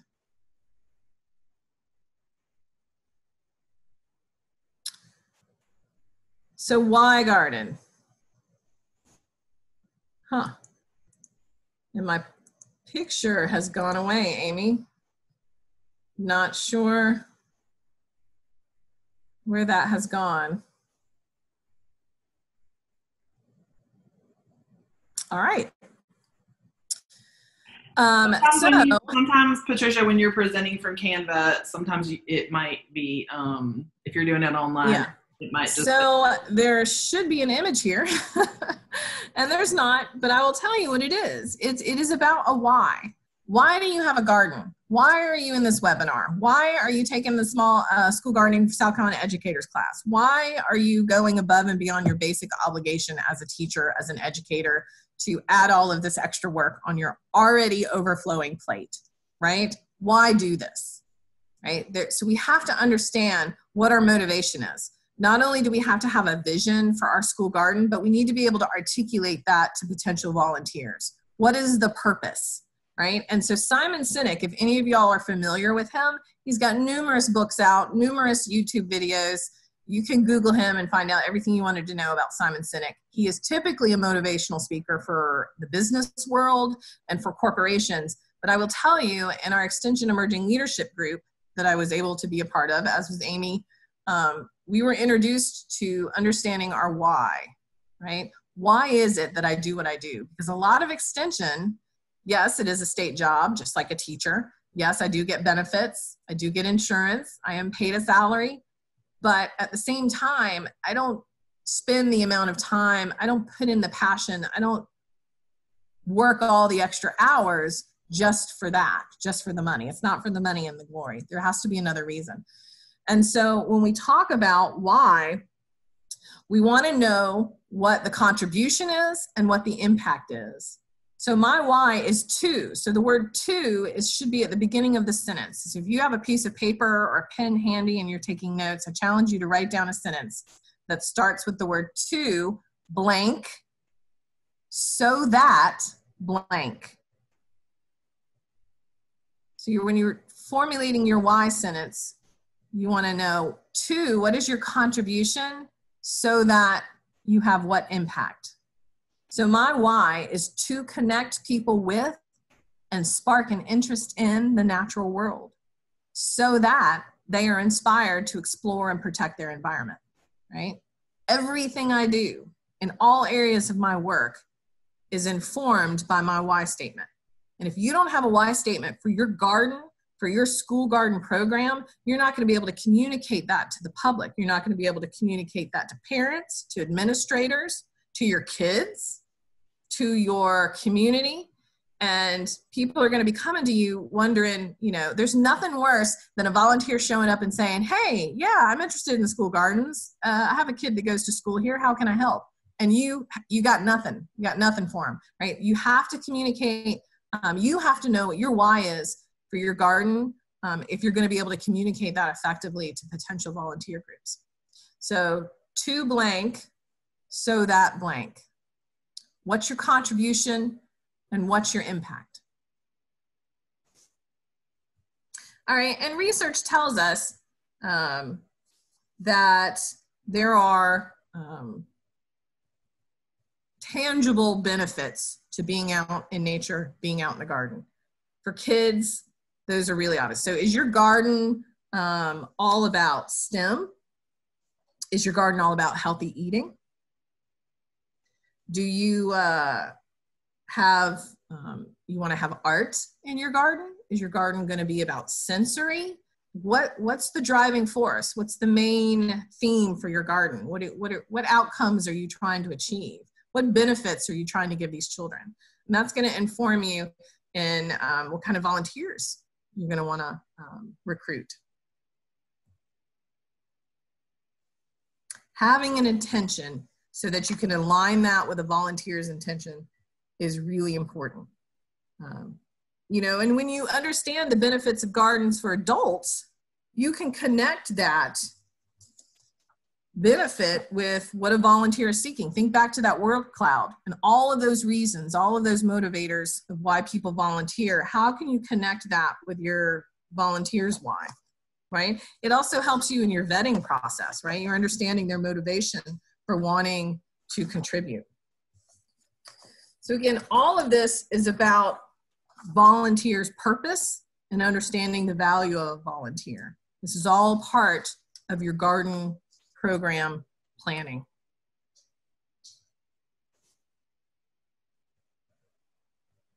Huh, I'm really disappointed. I've been through this presentation, I don't know how many times, Amy, and now all of a sudden my pictures have all disappeared. Are you, in, are you in present mode in Canva? Let me go back here. Try refreshing your browser. Yeah. I apologize, everyone. Um, I'm not sure. In present mode, I think you're going to be good now. Yeah, because there, look, it fixed your. Um, ah, there we go yeah, it fixed your thing, and yeah. So. And there's your your your why statement thing. Sometimes. So do I need to? You can push present again, and then um, it it's yeah. All right. Okay. All right. Sorry about that, guys. Welcome to the wonderful world of hands-on programming virtually. We've all, all right. So may, hopefully makes it understand what I was asking for you to do is, is to, to craft your why statement, the purpose behind your garden. And there's mine. All right, so we talked a little about planning with a purpose, talked a little bit about having a, an intention, setting a, a why statement for your garden. Um, you know, which is a good exercise to do just to, for you personally as well. You know, I think teachers are so overworked and underpaid, and we just keep adding more and more and more onto the plate of what we expect teachers to be responsible for. So sometimes it's helpful, especially at times like these, to sort of drop back and, and reflect on why did I become a teacher?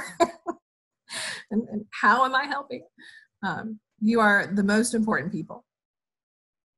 So let's talk a little bit about recruitment, right? It's sort of the next piece of that, um, of those elements of volunteering.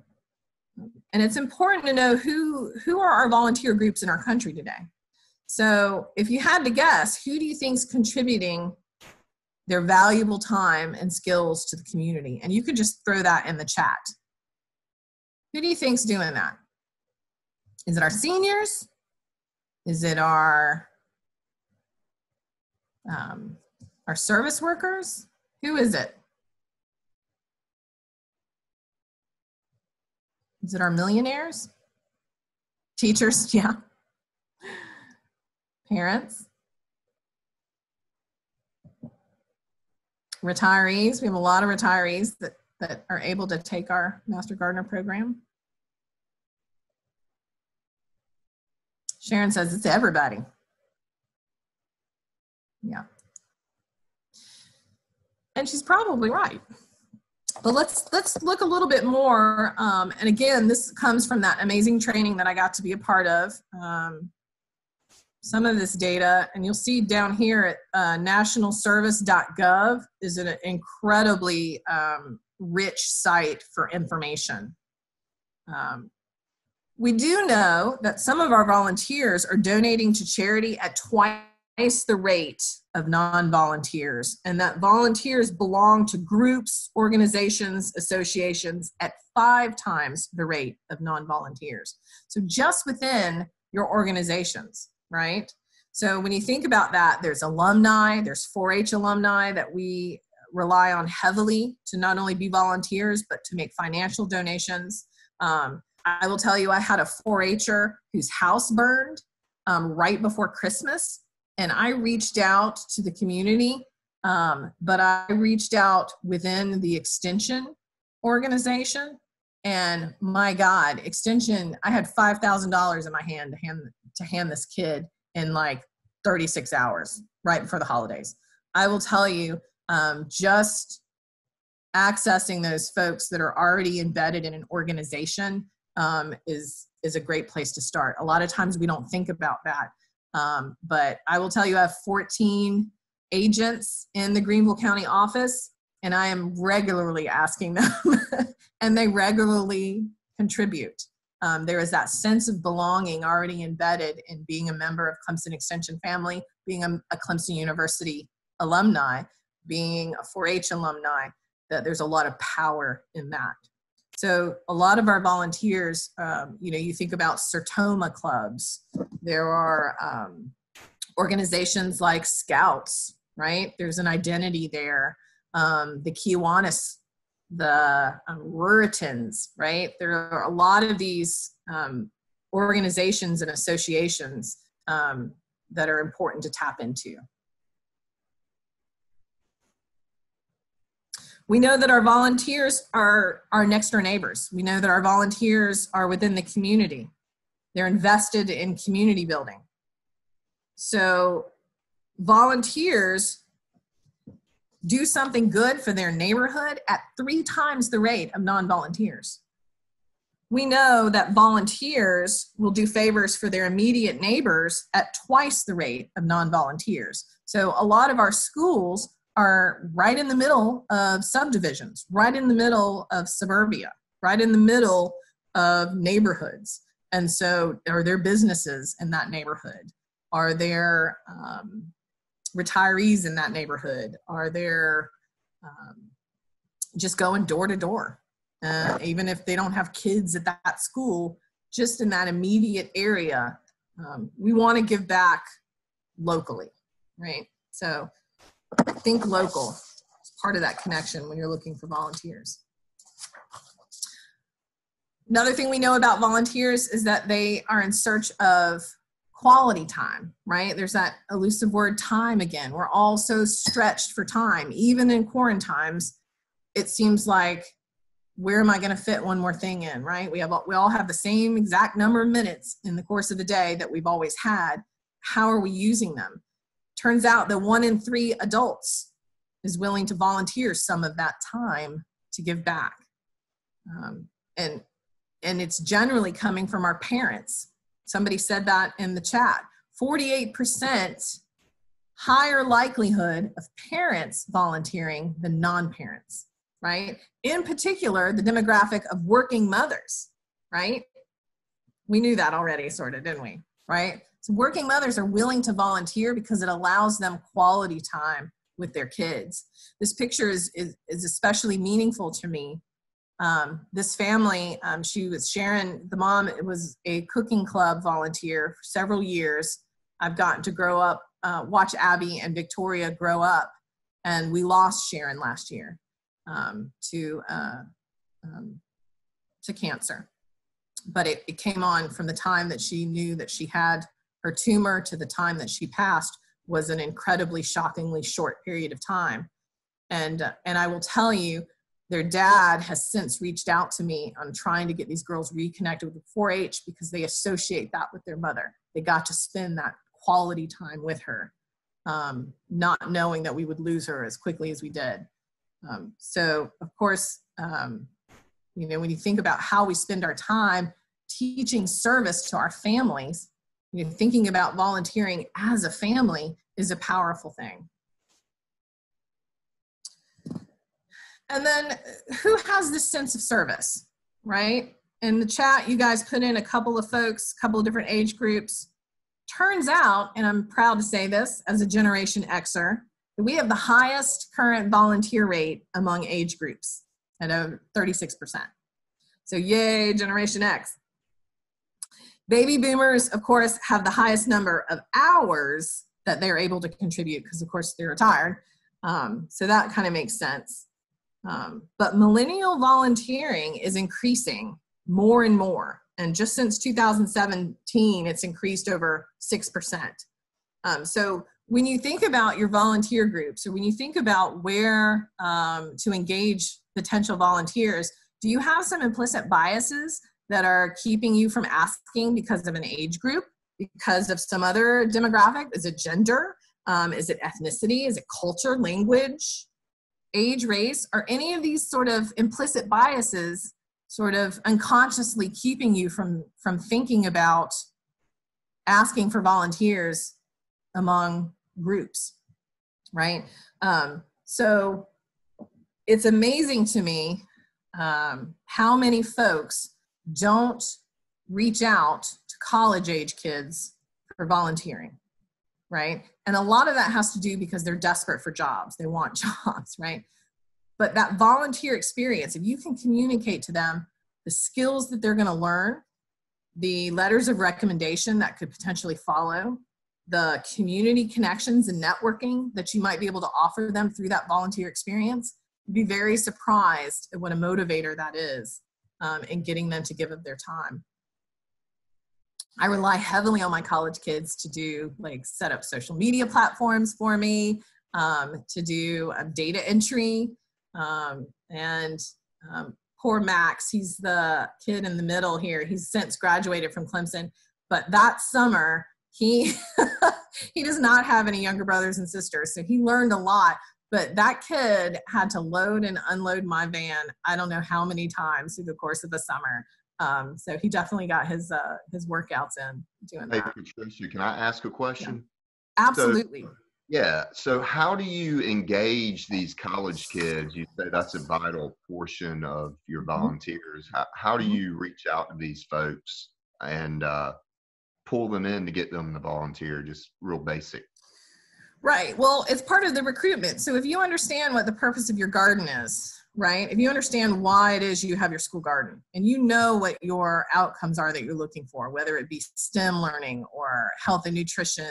or sensory experiences or you're trying to grow food to give back to the community and teach service whatever your intention or your purpose for that garden is your why If you can communicate that in a um, in a recruitment blurb, right? Then you can send that out. You can say, "Hey, here's an opportunity," and I send that out to um, all the career counselors at all the local tech colleges. I'll send out, you know, and it's and I send out exactly what the kids are going to get. This is a volunteered, non-paid position, but here's what you get, right? And I list off all those things. You're going to get community networking connections. You're going to get skill building. You're going to get organization skills. You're going to get um, networking opportunities with Clemson University Extension and other soil and water and all the other folks that I'm going to talk about in a little bit as part of that community connection. Um, you know, I very clearly list out what the benefits are because I've already thought about that um, in terms of what, I, what I've just been talking about, about connecting those benefits with what motivates volunteers, right? And and what is it on Clemson Extension letterhead or something like that? Yeah, absolutely, absolutely. Yeah. Um, good question. Good question. And Patricia, I think also maybe what Ben's getting at, and I think you're going to talk about, is having the framework set up so when someone does reach out to you to become a volunteer, that it's not like a huge extra burden on you to engage them. Like you have a process, like here's a form you fill out to become a volunteer. Here's the process. Right. You have your background. We're we're gonna we're gonna get to that. yeah, I know. I'm just saying. We're gonna get to that. Yep. So you guys are following. You guys are following along. We're doing planning, recruiting, orienting, supervising, evaluating. Right now, we've just gotten from planning. We're talking about recruiting um, and and that's the next slide. If you don't know your needs if you don't know what it is that you need based on the purpose of your garden then you can't communicate that effectively to all these potential community partners and stakeholders right? So know who's in your community. I mean there are extension and 4-h resources that are available to you already. So when you think about um, a volunteer role um, you know it's happened i don't know how many times. Somebody walks in and says oh clemson extension. Oh i used to be in 4-h what do you need help with? If i don't have an answer right? If i don't have a list of needs already identified if i don't know exactly because i, I don't just say i don't know what can you do?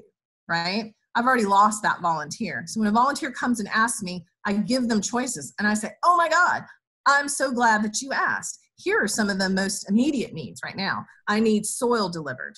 I need um, I need seeds packaged. I need thank you cards written. I need data entered.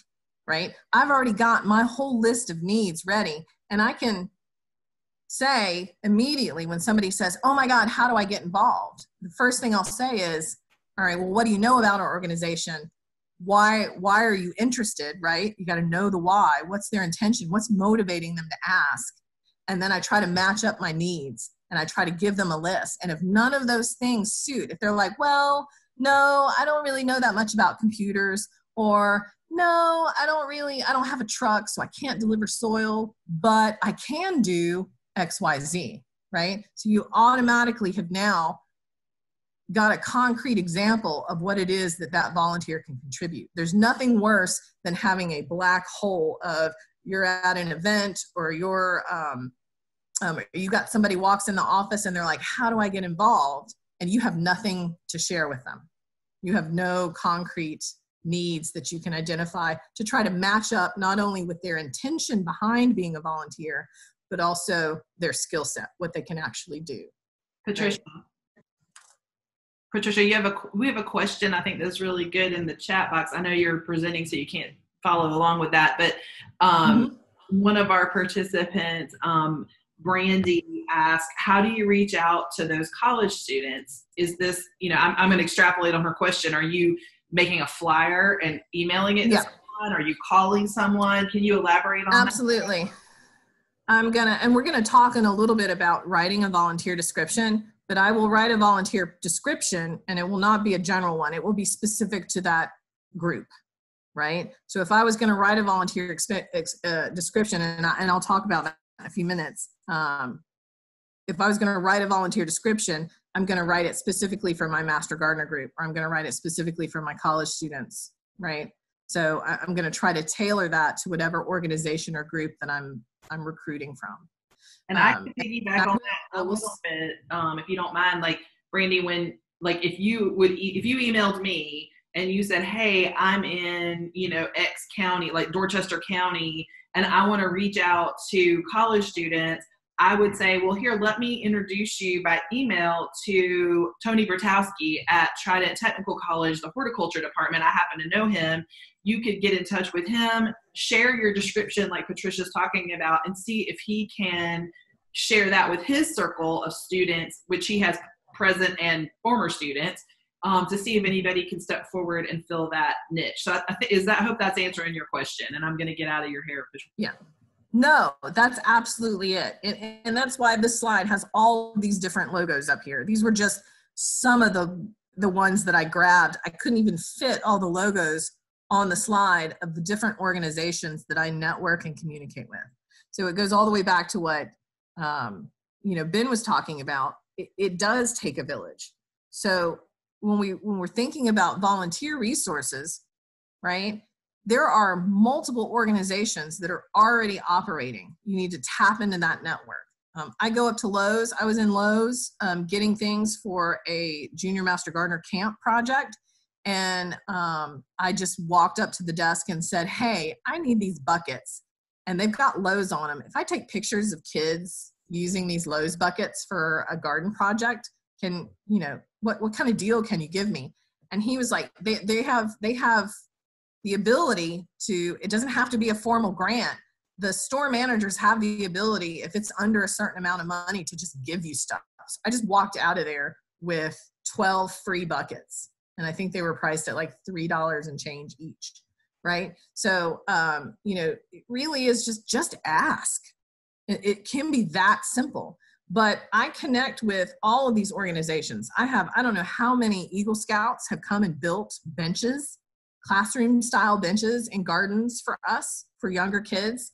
Um, our Greenville County Parks and Rec has I don't know how many 4-H clubs, um, and we partner with their um, seniors as well. Our Soil and Water Conservation District hosts a environmental science camp with me every summer. Um, our Farm Bureau obviously is an, is an amazing um, resource. Um, we're doing a STEM camp with Upstate Warrior Solutions, specifically for veterans families, and their workers have been trained as my volunteers. I don't have to do it. All I did was train them and provide them the kits, and they're doing it. Right. So there are. it- It's Whole Foods did. Um, we just went in and we and there's actually a whole program. They actually did a specific tour of all the different types of fruits and vegetables from all around the world at our local Ho- Whole Foods for one of our garden clubs and one of our cooking clubs, right? Free of charge. Um, all we had to do is set that up. So it really is just about saying who's in my community, who can I connect with? And if you have thought about the purpose of your garden, if you have a why that you can communicate effectively, and you have specific needs that you've identified, these are the areas that I really need help with, then you can communicate this to this whole network of people that are in your community that are just waiting to contribute in some way. Right?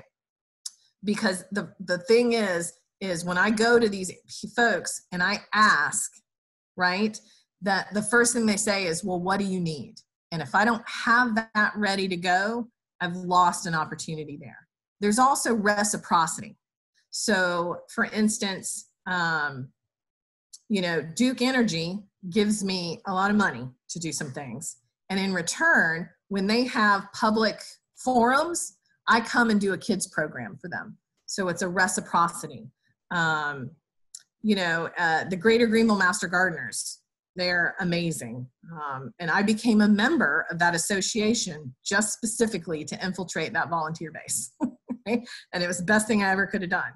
Um, and it didn't really take that much more of my time. Roper Mountain Science Center, an amazing partnership. Um, and that's part of the Greenville School District. But again, United Way, and I think we might have some United Way folks on there. They, they know about partnerships. They know how valuable that is. Um, if you can communicate what it is that your program's purpose is, and you understand what motivates people to volunteer, then you know what to ask, right? And so don't limit yourself um, on who to ask. Now, all of this is well and good, um, but once they do show up, let's say you've recruited it, you've got 10 people coming and they're ready to go and they are fired up and they want to participate in your school garden. You got to make sure that you're matching your pools of volunteers um, with proper training because I've done this and maybe you have before. I have been super excited to volunteer for an organization. I show up, they give me my free t-shirt, they show me where the water, water is, and then I'm just standing around looking for direction. Nobody can tell me what to do or where to go, right? No training. Um, that's a terrible feeling, especially when you're trying to volunteer, when you're trying to uh, um, contribute district compliance, risk management, um, really understanding how to match skills with a motivation or a purpose for why people are showing up and volunteering. So I'll give you an example. Um, over here on the left, we have beekeepers that they are professional beekeepers. They run a beekeeping supply store in Travelers Rest, um, and they are consistently providing me with expertise and support. Um, now, what has happened is they are part of an association of beekeepers that now have a junior beekeeping group through Clemson Extension, right? If I had asked her to just give me stuff, right, I would have fallen short. All I would have gotten was a couple of supplies. After a while, she would have been tired. She's a business person. She would have gotten tired of giving me handouts. Every year I'm coming and asking for free stuff.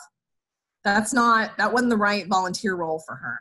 I recognized her skills as wanting to be an educator in the beekeeping world. She's an advocate for beekeeping techniques. She's an advocate for pollinator awareness and education.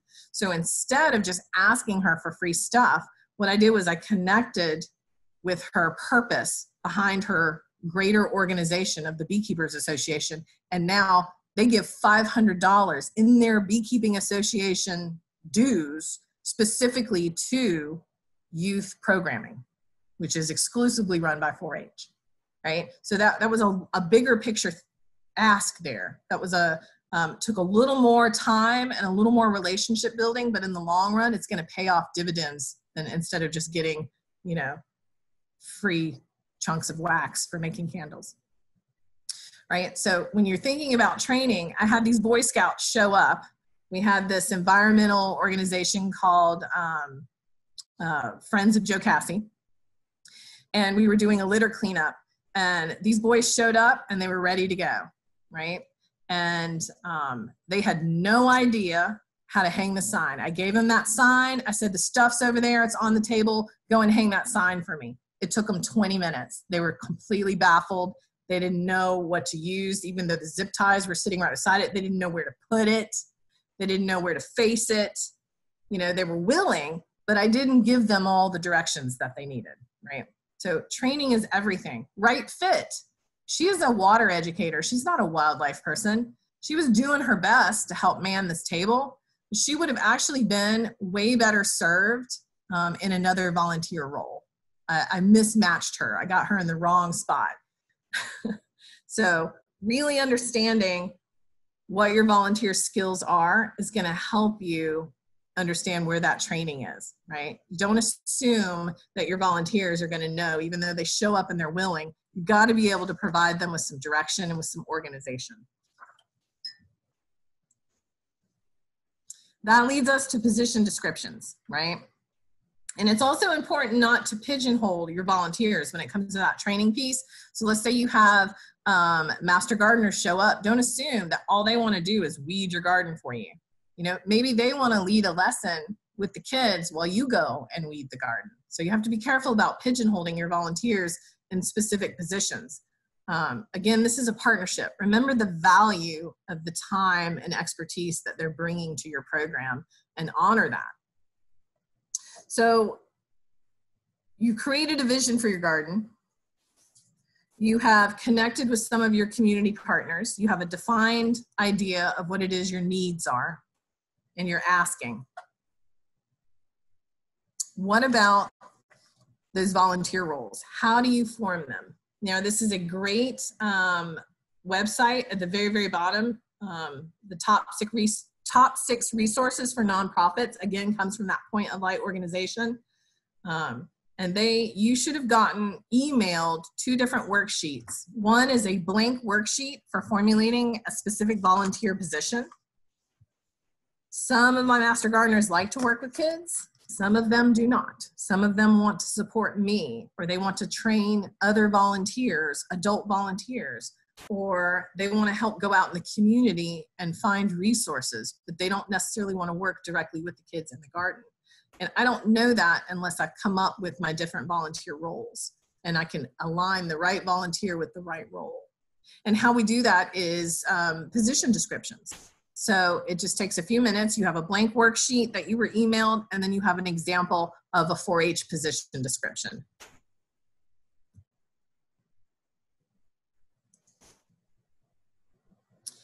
You know, a lot of this seems um, obvious and it seems sort of intrinsic to a lot of what you already do, but there is research that backs up these five elements. There is research that backs up that aligning purpose with community, knowing who is volunteering, recognizing the value of a volunteer, and then matching that purpose and that skill set with the right role.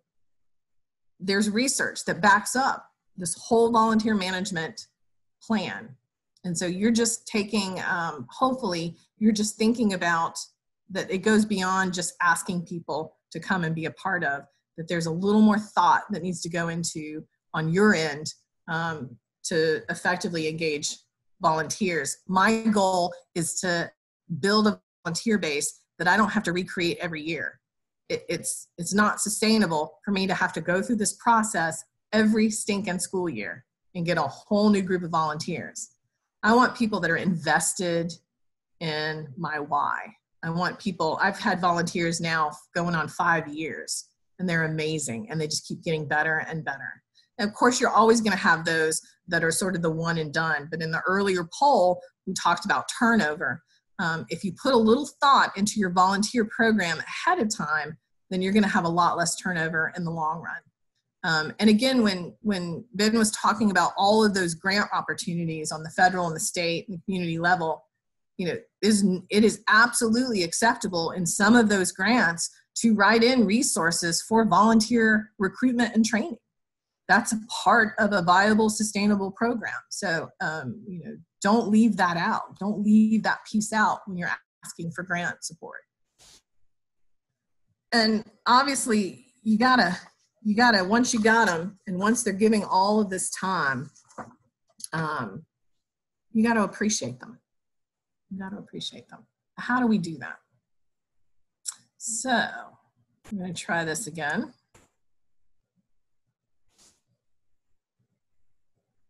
And, um, oops. Amy, I am going to send you, um, actually, I'm going to put in the chat another link And this time you're just going to write a phrase, um, just write a sentence.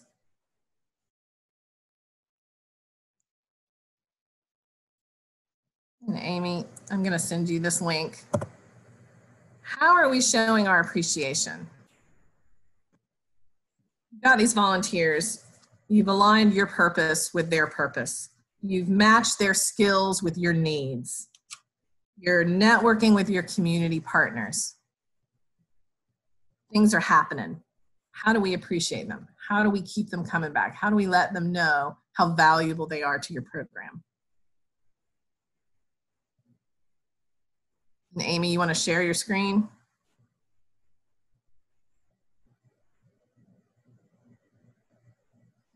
Hey, so this the the link you sent me just now is the same one as before. Can you just double check that for me? Should not be. Okay. Yeah, it's a Lynn is saying that she sees the old question too. The original, the All first right. question. All right, let me It's try. also everybody can take a moment, take a deep breath while you work it out. we got a lot of great questions in the chat as well. I'm gonna. I'm trying to hurry up so I can come back to them. You're fine. No, no. I mean, Uh, we're we're handling um. There's no rush. Everybody's just got a lot of thoughts. People's minds are racing. All right, let's try. Everybody, try that link. Okay. You gonna send me the other one to share? Yeah.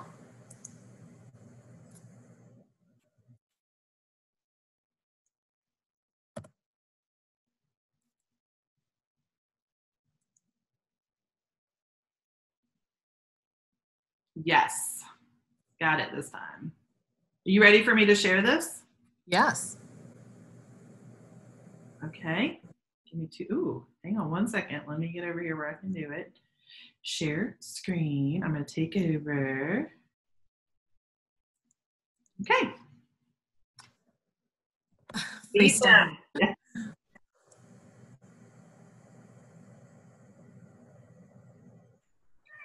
So All while right. everybody's filling this out, I just want to say that um, over in the chat, we had um, someone ask about how did they go about finding master gardeners, and we we do have people here from other states. So I will say, you know, at least for Clemson, you can go on clemson.edu and re, you know, just search for um, master gardeners and find your county, or you can email me or t- chat me over here and I'll see if I can't connect you at least by email to your person. I will say that right now, master gardeners are a little thin on the ground in terms of being able to get out and do things because of COVID, but I know they are dying to get back to work. So, um, lot of cake, yes. Mini tokens, yes.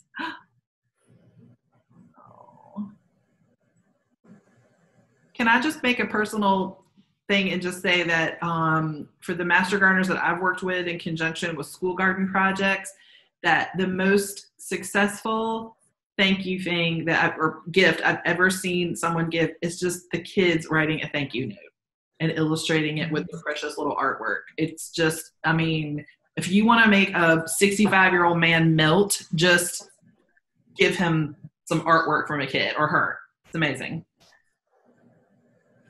All right. These are some really good ideas. I'm gonna Yeah. refresh it one more time just to see if anything else is popping up.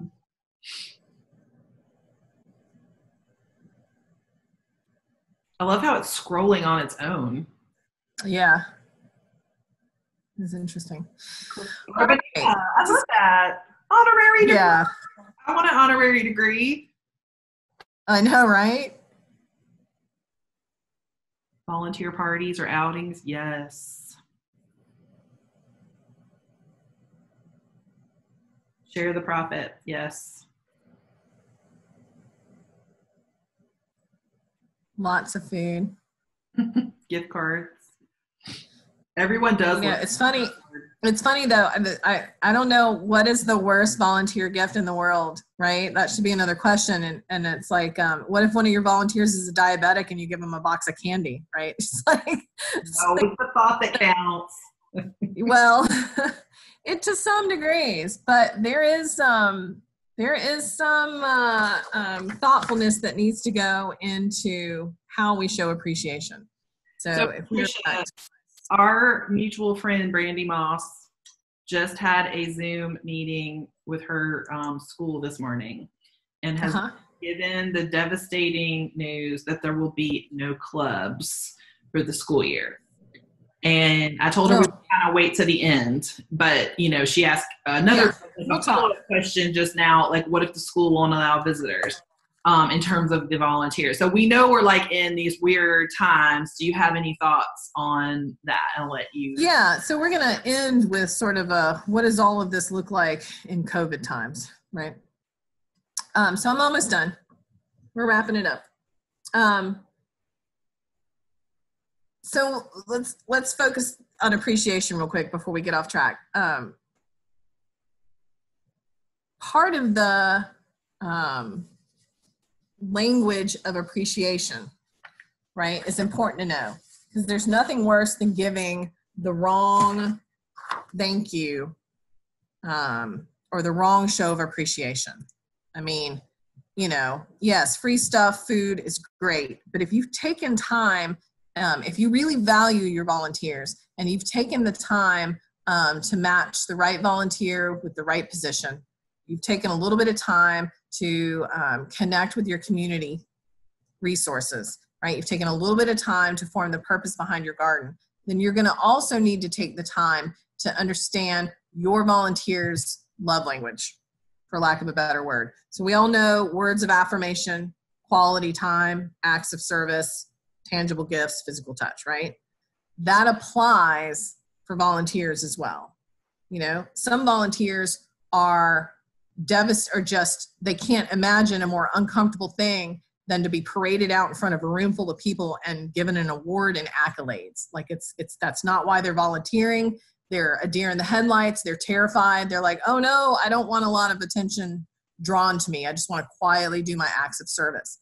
So maybe that volunteer just wants to go out after uh, work and have a cup of coffee, or just get a maybe get a Starbucks gift card for a cup of coffee, or maybe that's the volunteer that wants the handwritten cards right? When you're dealing with organizations when you're trying to thank individuals versus organizations you need to be a little more thoughtful about that. Because organizations love to be um, they love to be shouted out. So if you have any sort of social media or any sort of newsletter remember i told you about the kids with all the Lowe's buckets i took pictures of those kids with their Lowe's buckets. I sent it in a i had them all sign the card and i sent the picture to the manager, but then I also followed up with uh, an email to the immediate supervisor and told that supervisor what an amazing gift that you know what amazing decision that manager made. So now every time i go in that store if that manager sees me he's like hey you made me look good in front of my boss. What do you need today right so you really need to be thoughtful about um, how you're showing appreciation because that then feeds back into that loop of um, reciprocity in why somebody's volunteering in the first place, right? I don't volunteer as much as I love them, and I do love them. I'm not volunteering for the cupcakes, not even really volunteering for the gift cards. But if you put my picture on, this is just for me, but if you put my picture on your site and you tag me in it, I can put that in my evaluation, right? I can I can use that to promote my program even further to say, look at what your your your friendly 4-H agent um, was a um, kayak safety boater at an Ironman event this past weekend, right? And there's a picture of me in my boat, or whatever it is. So, you know, really taking the time to understand what your um, volunteers' sort of language of appreciation is it's going to go a long way. Volunteers make the best recruiters for more volunteers. So, you know, think of, um, I'm going to give yourself some homework. Think of three ways um, that you can thank volunteers, three more meaningful ways that you can thank volunteers um, maybe than what you've already was doing. And that list that we just looked at was a, was a really good start. All right, last but not least, um, nobody likes to do this, um, but that's not true. Some of us really geek out on it, but it, it is essential and it does not have to be formal. You're going to get an evaluation at the end of this webinar, right? Um, and when I do camps, we start our day at camp with what did you learn yesterday? What do you want to learn today, right? That is an informal evaluation. So um, there are um, evaluation data is going to provide you the information that you need to help you make decisions that are going to help facilitate better communication. They're going to help you continuously improve, um, and they're going to help you um, be able to communicate to volunteers more effectively, and you're going to be able to utilize your volunteers more effectively. Um, so don't leave this piece out. There are three sort of main um, evaluation types, which is is it process oriented, goal oriented, or outcome oriented? Um, and just taking the time to answer some of these questions for yourself and your garden program is going to go a long way in helping you to fulfill your vision. Remember, we started with defining your purpose, why you have a garden in the first place. Well, how are you doing now? Right?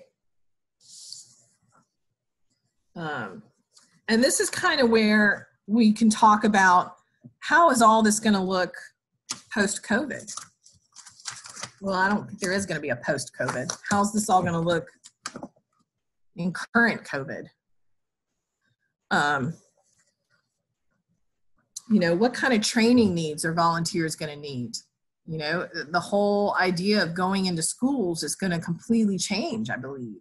Um, I don't even know as a as a an educator uh, that's invited to do school programming and to do after school programming. I don't even know what that looks like yet. I know in Greenville County District, I had to go through. There's a, a tiered volunteer approach. You're you can be a volunteer type one or a volunteer type two.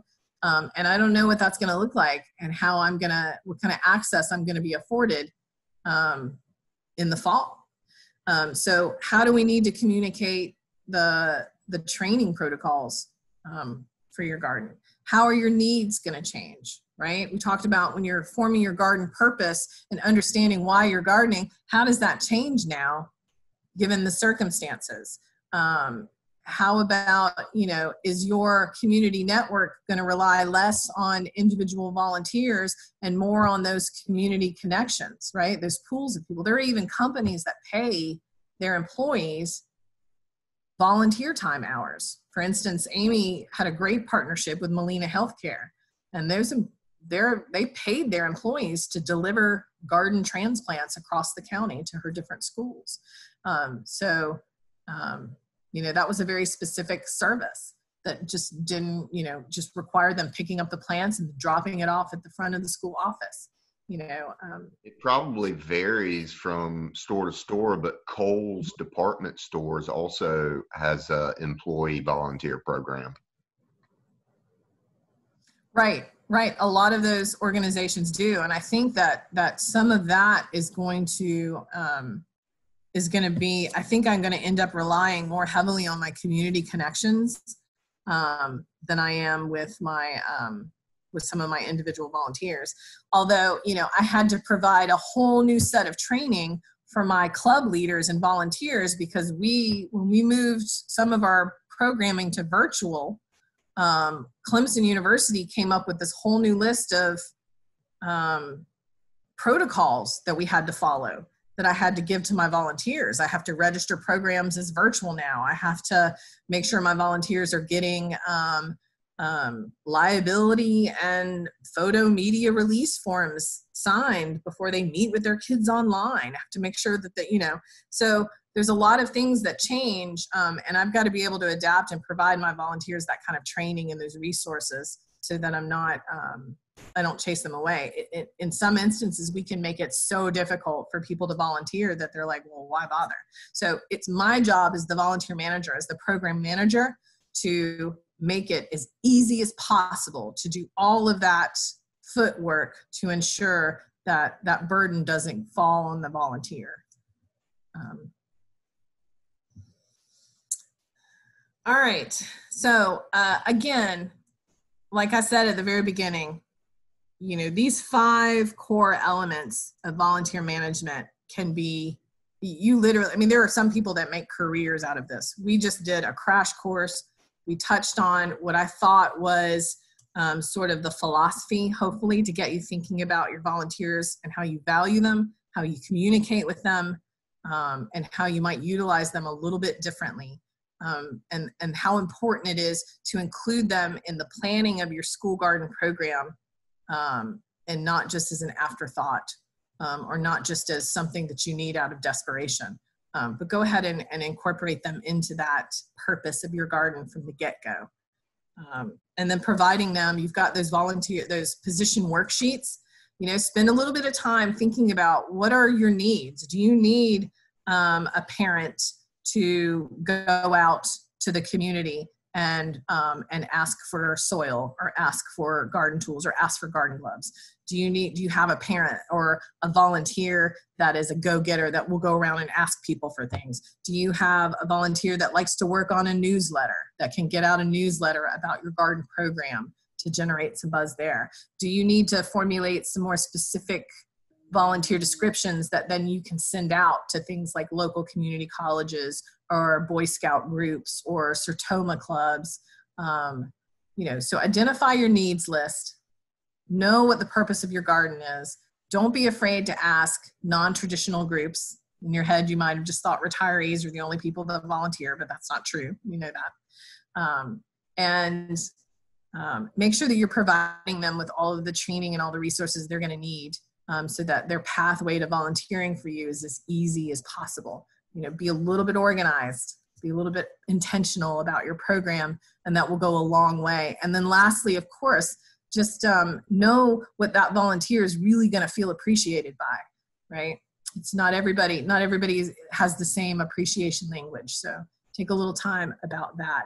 And then evaluate all of this. Is it working for you? Um, what, where do you need to improve? Where do you need help with? Um, so I hope that you got something out of this, and I'd like to catch up on questions. Amy, if you can help me with that. Yeah, and um, Lynn, I can. I mean, I can turn on. You know, for individual folks, I can turn on. Um, you know, your microphone if you have a specific question, and I'm happy to do that. Um, but I can just also relate